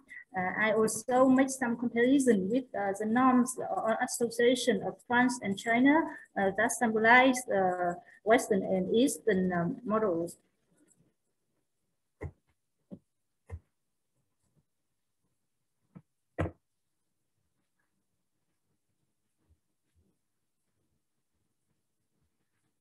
So the law on association is one of the important laws that the uh, that the party and government of Vietnam are plan to draft, uh, especially after that the constitution of Vietnam has been revised in 2013. Uh, the elaboration of this law started in the year of 1990, uh, but officially submitted to the National Assembly in uh, 2005 and 2014. However, uh, freedom of association is a large and a complex issue. So this law raised many different opinion, opinions. So up to now, this uh, draft law, uh, this, this law has not uh, approved yet.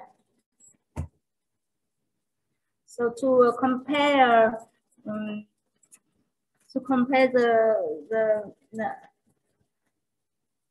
we are first we are go uh, go back to uh, the legal framework of three of three countries. Uh, France has the law uh, 1901 is uh, the law of uh, 1901, and China and Vietnam has currently uh, no law. Uh, and there are only uh, the legal document under the law, as you can see in the slide. Um, China has a strict regulation in 1990 and 2004, and Vietnam has uh, uh, regulates the association uh, filled in the uh, by the decree, decree uh, number 45 in 2010 and the decree number 80 in 2020. And both Vietnam and China is is the, pro, uh, is a process of reviewing and amending uh, all the regulation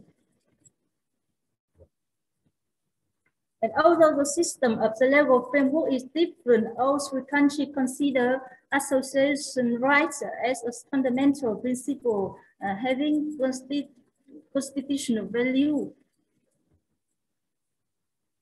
About the concept, uh, the definition uh, association in three countries, uh, there is an influence of the French law on the law of Vietnam uh, by the definition is association in uh, in the order 52 in in 1946 uh, and order 102 in 1957 approved by President Ho Chi Minh.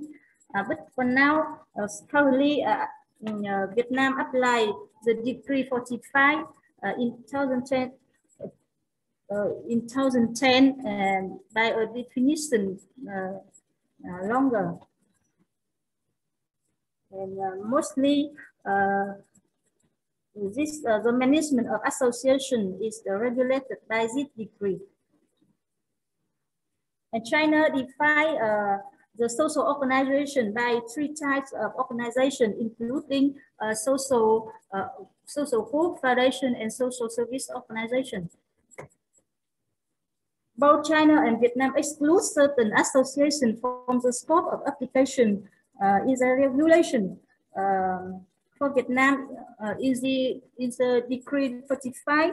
Uh, uh, this decree not uh, apply to six mass organizations that's mostly created and uh, directed by party and or most of the organizations were created in the war period. Uh, for example, uh, the Vietnam the Land the General Syndicate uh, of Vietnam, the Vietnam Farmer Association, Communist Youth uh, Ho Chi Minh, Vietnam Women's Union, Vietnam Veterans Association. About the issue of uh, uh, legal status. So uh, France recognizes the existence of all associations with or without declaration, while Vietnam does not recognize the group uh, without registration.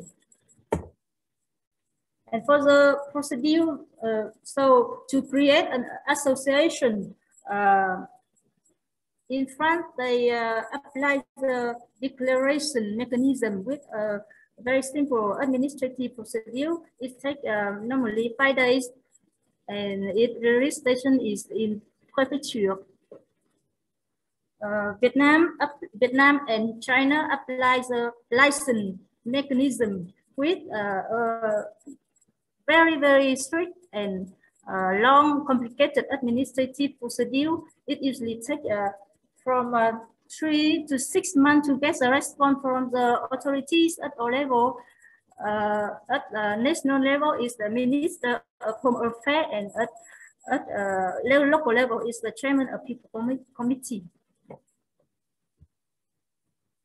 Uh, the, uh, condition to create uh, uh, an association in Vietnam. So according uh, the, the article, that, uh, the, uh, an association have uh, its name, uh, principle, purpose, scope of field, head office, charter, uh, approved by authority, uh, founder, and uh, independent property.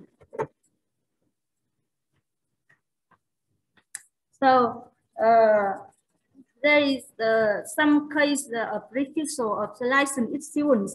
An association will be will not uh, be uh, issue license uh, if they uh, if the name or the scope of activity is identical or confusingly similar to the name of another uh, association is, is uh, already established. And the uh, case of uh, who, who is limited uh, of the right of association, you can see here five, five clause is uh, one, the number one and two is very general. You can see is the four three, the number three, four, five. So uh, the officer of state agency or person working in the military can only uh, create the register, join or direct uh, lead uh, association when they, they, they are appointed by state agency or uh, only after five years of uh, their retirement. Uh, the about the issue related to foreigners. So uh, it is a very sensitive uh, issue of even for the Western model. Um, in Vietnam and China, this matter is more limited and restricted. In China, the association uh, regulation only apply to uh, by Chinese uh, citizen and the regulation applied apply to citizens of Hong Kong, Macau, Taiwan, foreigner if they are responsible for fund in China and reside within Chinese territory for a regular period, at least three months per year. Uh, for Vietnam, in Article uh, 17 of Decree 45, joint, uh, joint venture enterprise and foreign-owned enterprise uh, operate in Vietnam uh, make contribution to an association development and agree with the association charter may be considered and recognized by an economic association to be their associate member. And associate member uh, have the very limited rights. Uh, for example, they cannot uh, vote the leader of association. About the foreign aid, um, the fundraising uh, and the implementation, uh, uh, implementation of project and program is a suffer a very administrative, very strict administrative regulation. In the decision of 76, uh, stipulate that the international conference and seminar uh, related to political security, defense, ethnic, religious issue, or human rights uh, must be approved by the prime minister when holding a conference.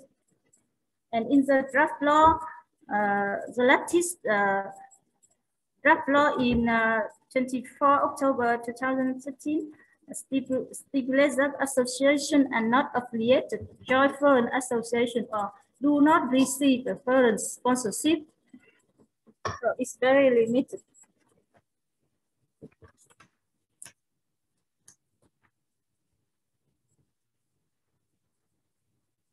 And it's more and more difficult to, for association to receive uh, foreign aid. Uh, so what, uh, what is the policy to, to particular uh, association, all three countries? Uh, have a special policy for particular association. France has the uh, mechanism public utility to what association that serve the objective of state. And in China, uh, also they have the NGO or association uh, uh, created by government. So, and like Vietnam now, uh, Vietnam uh, regulated this issue by the decision 68 in 2010 and uh, this ident identified 28 particular associations. Most of them are pol political associations, social, political, or professional associations. And these associations can receive partially or totally the finance or the subvention from the government uh, to perform the mission assigned by state and party.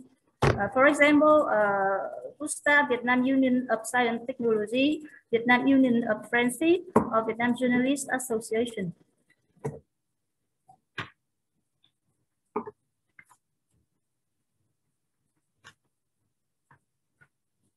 Uh, about the issue of intervention uh, in, in, internal affairs association, while France uh, minimize the interference uh, to the internal affair of association, uh, Vietnam and China in construct the Congress, the, uh, the leader of the association must be approved by the authority and uh, uh, the draft law has a chapter 5 to regulate all the rule regulation on the merged uh, uh, consolid consolidation, division, separation of association, and all this the process uh, must be approved by authority and report to the authority. So with the how, how is the mechanism for the for the protection of the right to freedom of association France has a strong mechanism for the protection of the right uh, of the right uh, by civil court, administrative courts, and constitutional council. Vietnam has not uh, a constitutional council or a national agency responsible to conduct training or research or proposing the measure to promote uh, human rights. and uh, all the all uh, the mechanism is uh, uh is based on the law on complaint denunciation and other relevant law, but the mechanism mechanism is very quick.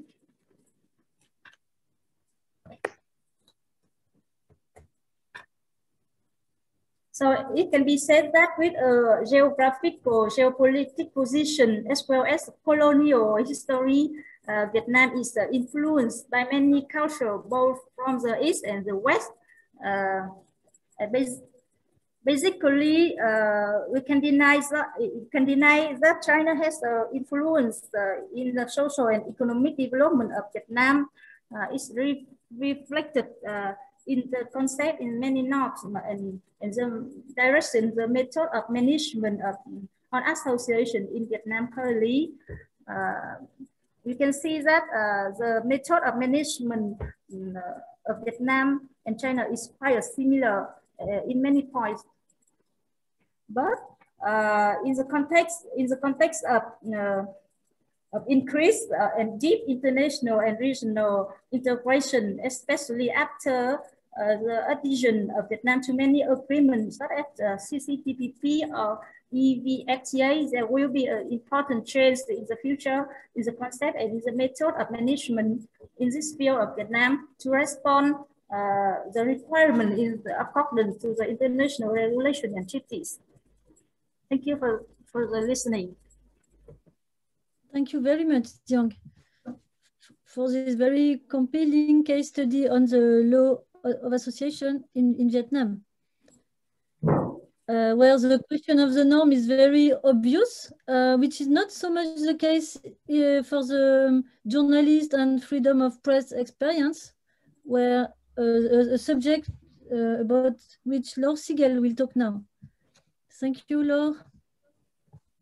It's your turn. And mute is okay? Yes, it's okay. Okay, so hello to everyone.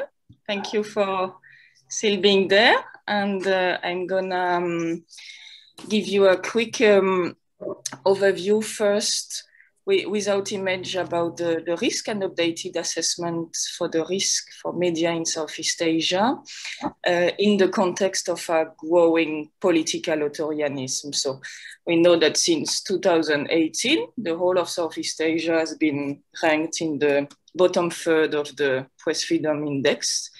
Uh, by Reporter Without Borders. So among the threats, we have um, an intense intensification of uh, online street harassment, lawsuit, conviction, imprisonment, murder, but also we have mass job losses and dire working condition. So all of this has become worse since the pandemic and the establishment of emergency states in most countries that has happened with it. So the, the, the consolidation of conservative movements and autocratic regime, most recently as we've seen in Myanmar, uh, has precipitated the collapse of traditional media. Uh, and on top of this, we had a drop in advertisement revenues uh, because of the internet and social network pose very acute democratic challenges to the, to the debate and the production of information. But what was interesting is that there was um, a big survey uh, two years ago by the um, International Federation of Journalists among thousands of media workers in Southeast Asia. And the, and the biggest threat among all this uh, difficult situation actually was the precarity. This is the biggest professional threat they identified. Um, so wages are very low in the industry at the region and there is no resource to pursue proper investigation, even renew material. Um, and as I said, most of the traditional media have not anticipated um, the digital transition. So they are simply not able to function, newspaper or TV channel mostly. Um, and in, in, in Thailand, in one year, 800 journalists have been fired just in one year, just in TV, in broadcasting. So um, they can no longer afford to pay the production cost, the operating license, and the salaries of the employees in the region. so just to give you um, a, a, broad, uh, some, some examples. So we have uh, Gavroche that you might know, the magazine for French-speaking journalists in Thailand. So this has stopped the publishing print version. The Nation, which was on the, one of the two English language dailies in Thailand has stopped also. And the Bangkok Post has cut the whole um, Sunday supplement for investigative reporting. Uh, two months ago, we have Khao that has closed the English newsroom. So now we're in a situation where we have mostly a tabloid press, which is still there because it's full of advertisement, or we have still independent reporters who, um, who broadcast live Facebook. So the live Facebook are really the thing that are still there in every event, uh, but there is no trace of it. It's there and then it's it's not. So um, this is where China enters in the picture because uh, the West and particularly the, the United States under the previous administration, as we know, as we withdrew some interest from Southeast Asia. So now we have um, a local media which has no funds and uh, China has used some of this situation uh, as the emerging power. So we know that thousands of foreign journalists in all the countries are regularly invited to seminars in, uh, in China to learn how to, I quote, tell the China story well. So we also know that Beijing is expanding the offer of student scholarship in the journalism school, and there is editorial cooperation more and more for the region. Um, so that was interesting. Um, for example, during it had a particular important impact in how the demonstration in Hong Kong were covered in the regional media. Um, because the violence was mostly attributed to the protesters in the Chinese state media. And um, what was interesting is that since 2019, uh, we have many collaboration between regional media and uh, Xinhua, so the Chinese state-owned news agency. So Xinhua will offer a free subscription to, um, to all his information to newspaper here. So we have the Manila Bulletin, the Khmer Times in Cambodia, the English in Thailand when it was still there. Um, and they justify it by saying uh, we, we want to use this free exchange of content with the aim of diversifying sorry, our media coverage of China. So this is a very attractive proposal because a lot of online outlets, as I said, cannot um, have no money, cannot afford a subscription to ISP, to AP or Reuters, which are relatively pricey for media company. So as we know who puts the money in, we'll get the ver its version of the story out. So it was really important in um, in during during Hong Kong. So I'm just gonna share uh, my screen for um, for one minute to show you um, um, the Manila Times from 2019. Okay.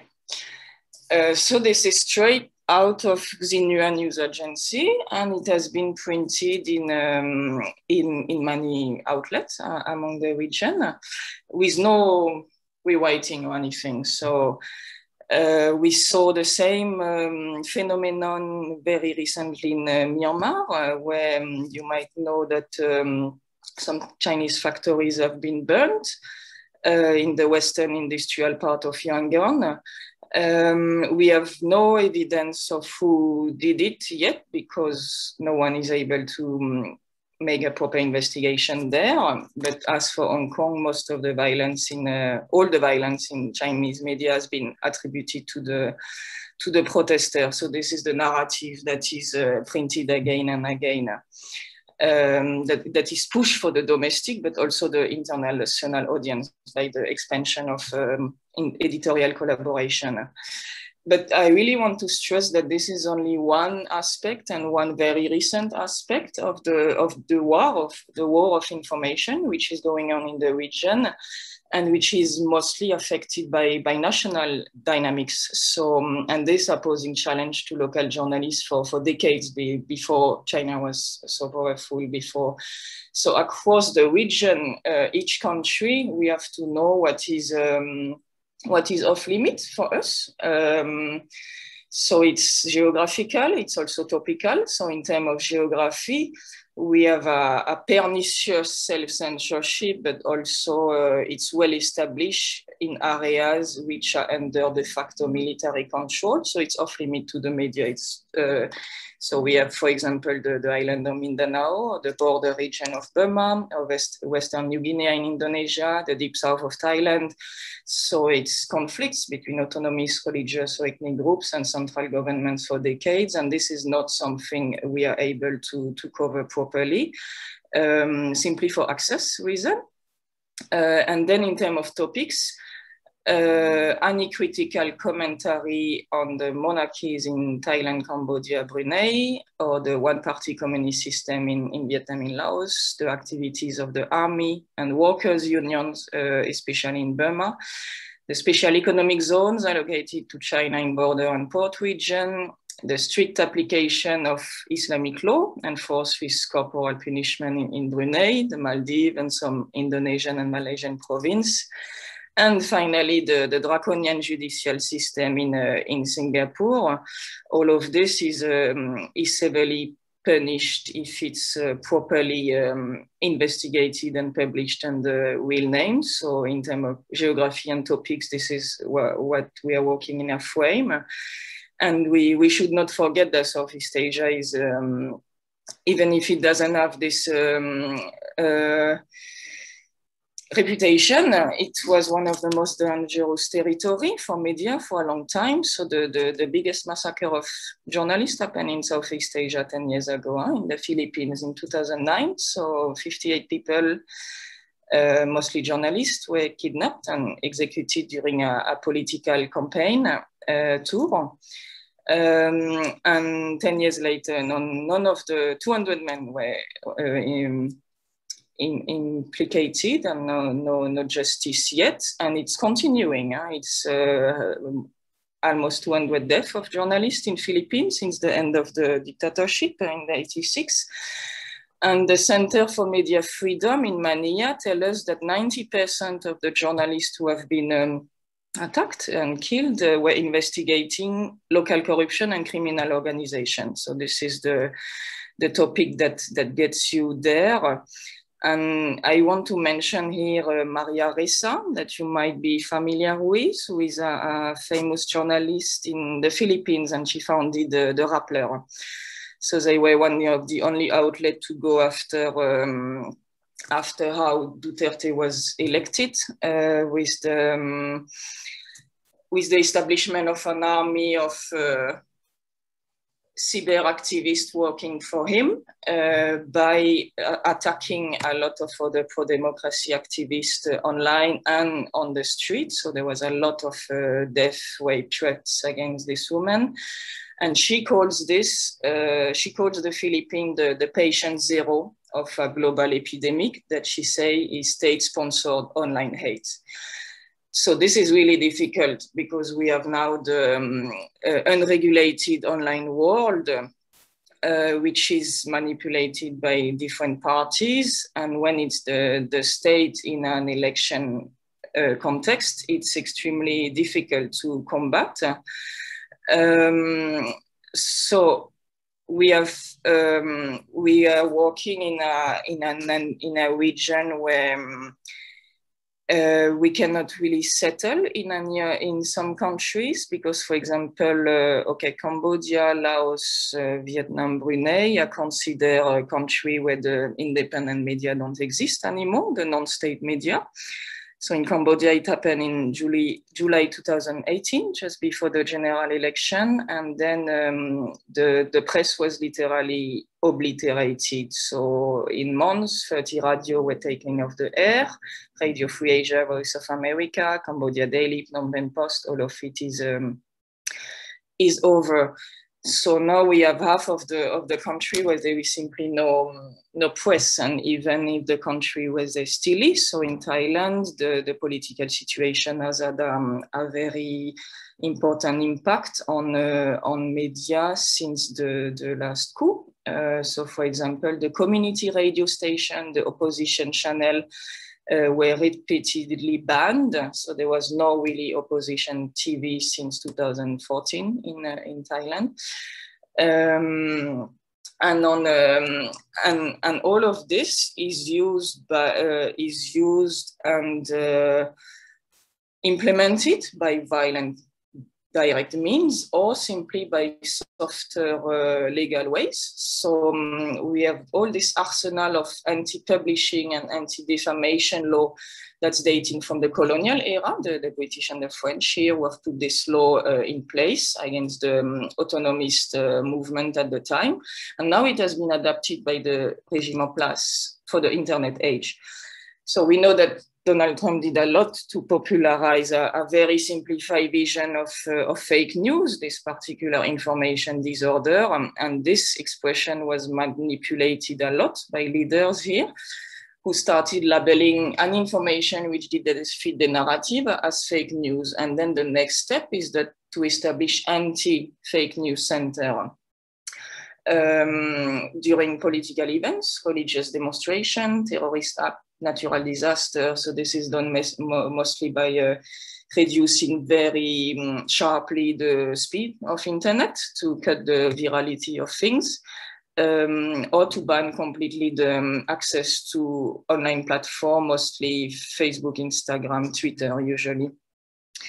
Um, so, um, so these platforms have now a responsibility. You, you might also know that Facebook had a huge uh, uh, impact in how anti-Rohingya information has been disseminated in, uh, in Myanmar. Um, and not much has been done to, to cut these pages. For years, the pages on Facebook were able to, um, to publish this kind of very discriminative narrative so now we, we know that uh, uh, Facebook has opened a, a data center in, uh, in Singapore and um, where the government has a near monopoly on, on, the media. So the, the Committee to Protect Journalists is pretty worried that um, the authorities would like to make Facebook subject to very harsh media laws. Um, so we have to be very careful of who owns the information. And with this platform, the owner is, is very far and doesn't take much responsibility. Um, so journalists in the region knows that the, the, the fight that's essential is to, uh, to fight their own laws in their own country.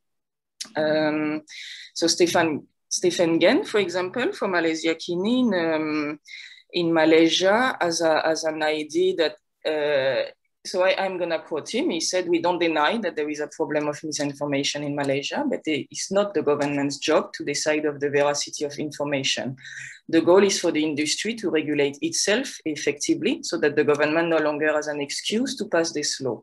So this requires education in general, to the media in particular, a requirement for transparency by prohibiting direct funding of media by political parties, and the establishment of a truly free press council. So it was mostly the, um, the main conclusion that the Asia Center in Bangkok uh, published recently in his last report. Uh, so the main recommendation is to make sure the media have the resources to fulfill the mission and to set up independent council implementing an ethics chart uh, as the industry. Um, so uh, just to finish with my general uh, presentation, the, the next fear, uh, everybody's fighting the, their own law nationally. Um, Thailand is lese majeste, Malaysia is this, Indonesia in something else. But uh, on top of this, there is this, this, this fear now that um, much more heavier online surveillance system will be um, implemented in those countries on the model of, of China. Um, so to go back to, to Myanmar, which is the most striking but tragic example at the moment, the, today uh, soldiers are confiscating satellites uh, in Yangon uh, to cut access to international channels. So we already know that the access to social media sites, Facebook, Instagram, Twitter, is uh, mostly cut there, and uh, even the Tor, um, you might be familiar with the Tor software, which uh, enable private navigation. So, um, this has been cut, the, the data, okay, 4G mobile internet, and then the Wi-Fi public. So we are going to a full end of telecommunication, uh, very brutal from one month to another. And what's interesting is that people reacted uh, pretty um, quickly to, to, to this end of telecommunication that is really coming in, in this week. It's, it's, it's over. Um, so now we have SIM cards from Thailand that are passed uh, in Myanmar because it's still working on some um, in some areas.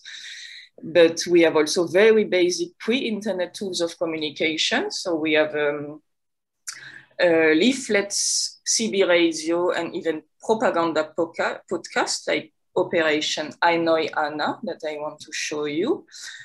Uh, so Operation Hanoi Hannah is um, you will see, maybe this one is more interesting. Yeah, the brief history. I just put you this. Uh, so no, it's a grouping no. of, a, sorry? Well, it, it, your time is over, so maybe uh, you can give the reference to this in the yeah, chat? Yeah, that was the last for the presentation, so I'm just gonna send the link. Yeah. Um, so that was just a, an example of how people react to the total end of, uh, of telecommunication. And this is um, um, it, psychological warfare. So they, they record audio, uh, songs, or just uh, talk.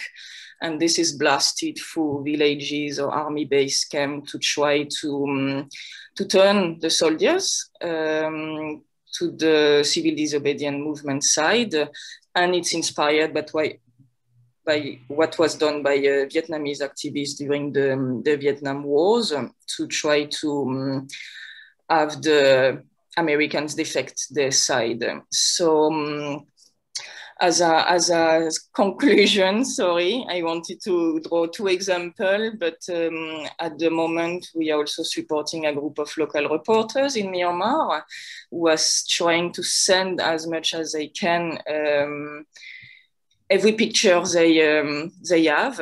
So for every day they send, we caption, and uh, this is supposed to be a database that will be of historical importance because they send it every day since the first day of the coup and uh, we from eight different locations.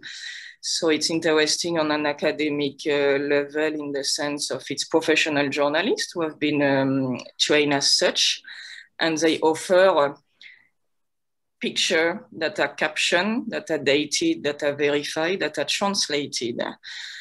Um, and this is the only way we can still have something going out of these countries. Uh, so my my conclusion would be that um, I would say that a healthy cooperation between people affected by a certain event, it can be a coup, it can be a dam construction, it can be a, a natural disaster, but, and then media workers and then academics and if everybody share test, tasks and information, we are able to make a concerted push to request accountability and transparency. Uh, because for the moment, the fact that authorities or private company uh, don't give out much data um, and that the people don't have the tools to publish their own data give us a very small focus on what's happening. And uh, the most important is to found people on the ground who can still get out information. So the, the story would be able to be um, written and remember as it happened. Thank you. Sorry. Thank you very, very much. Um, so now we are we are late, totally late. Um, in Singapore is more than seven o'clock uh, in the evening. So I leave the the mic to uh, my colleague from East Asian Institute. Please, uh, Chuan Yuan, the um, last words will be used before Chen Gan conclusion. Okay. Merci. Yeah. Thank you for the uh, speakers' uh, information and wonderful uh, presentation. They explore the role of China in Southeast Asia country from different angles and methods, as well as problems faced by each country. Uh, due to the limited time, I will not ask many questions, but uh, summary the key contribution and provide some suggestion uh, for further study. And for the first uh, presentation, it discussed the urbanization and infrastructure in Southeast Asia under the Belt and Road Initiative from the perspective of international relation theory and explaining China's strategy and the response of local participants in Southeast Asia.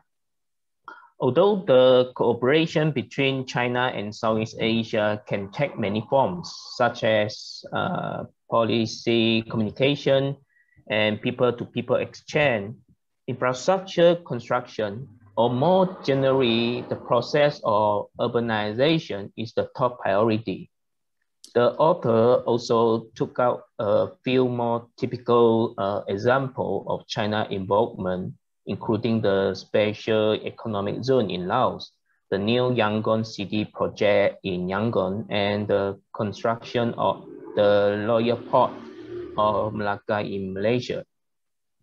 I think the author can make this discussion more complete or persuasive from the following two directions.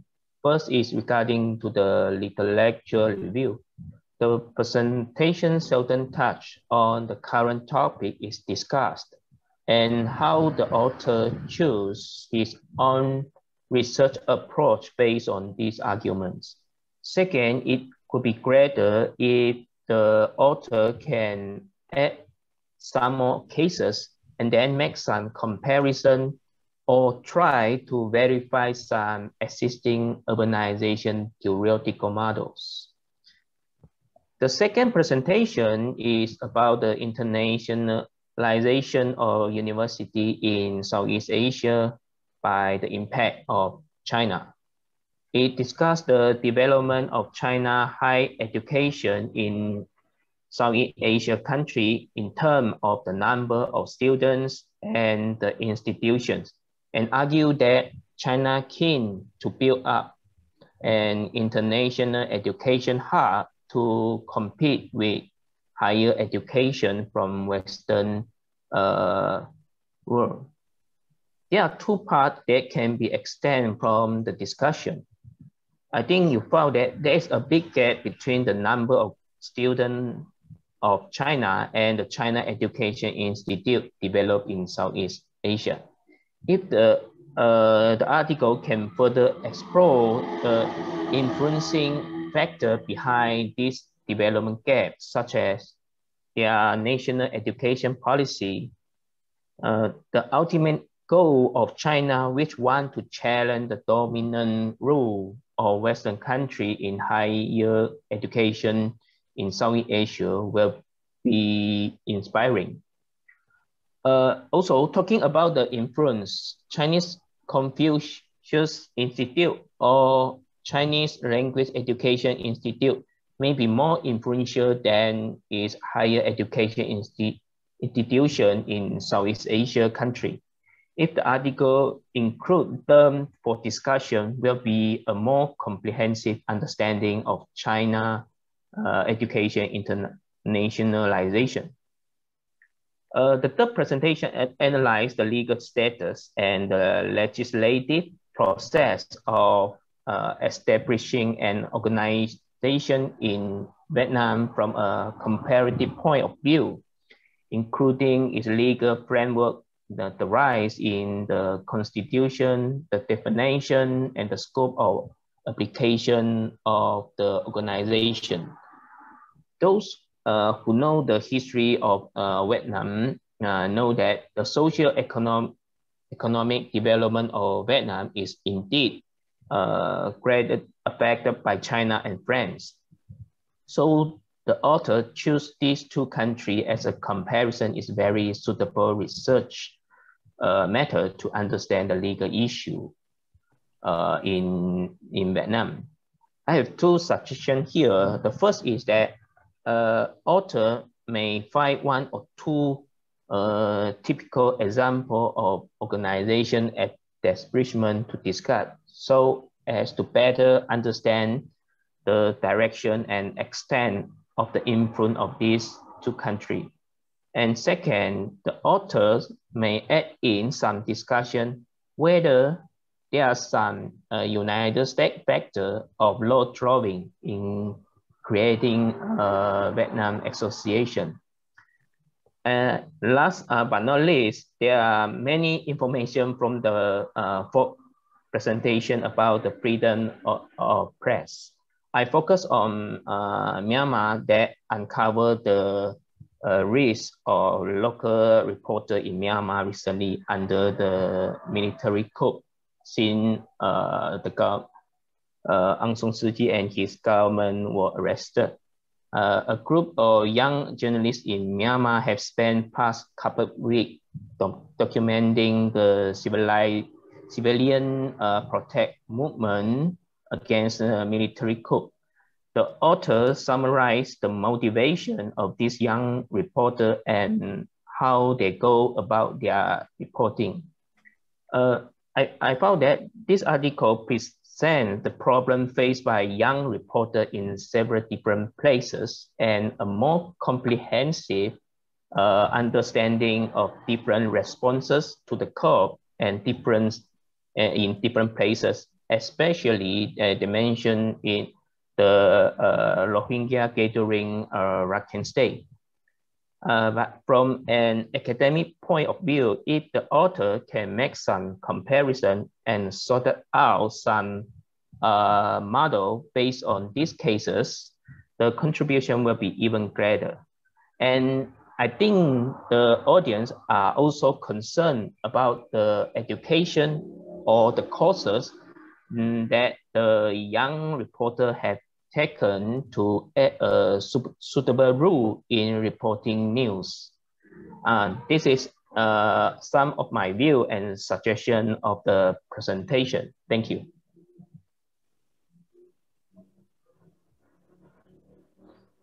Okay, thank you very much, uh, Maxi. Um, first of all, big uh, thank you to all of you who uh, stay on till the last minute uh, especially for those in Singapore. We know it's very late here in Singapore. And uh, thank you very much uh, on behalf of the East Asian Institute and also our director, Professor Bert Hofman. I'd like to thank everyone here for your participation, research, insights, and comments. I think the two-day seminar actually is uh, uh, very fruitful as it looks at the topic of ASEAN-China relations uh, from various perspectives, including history, politics, economics, uh, investment, trade, education, uh, media, ideology, and most importantly, uh, the perspective of uh, new norms. We all know that actually both powers are rising. China now is an emerging superpower, while ASEAN is also an emerging economic powerhouse.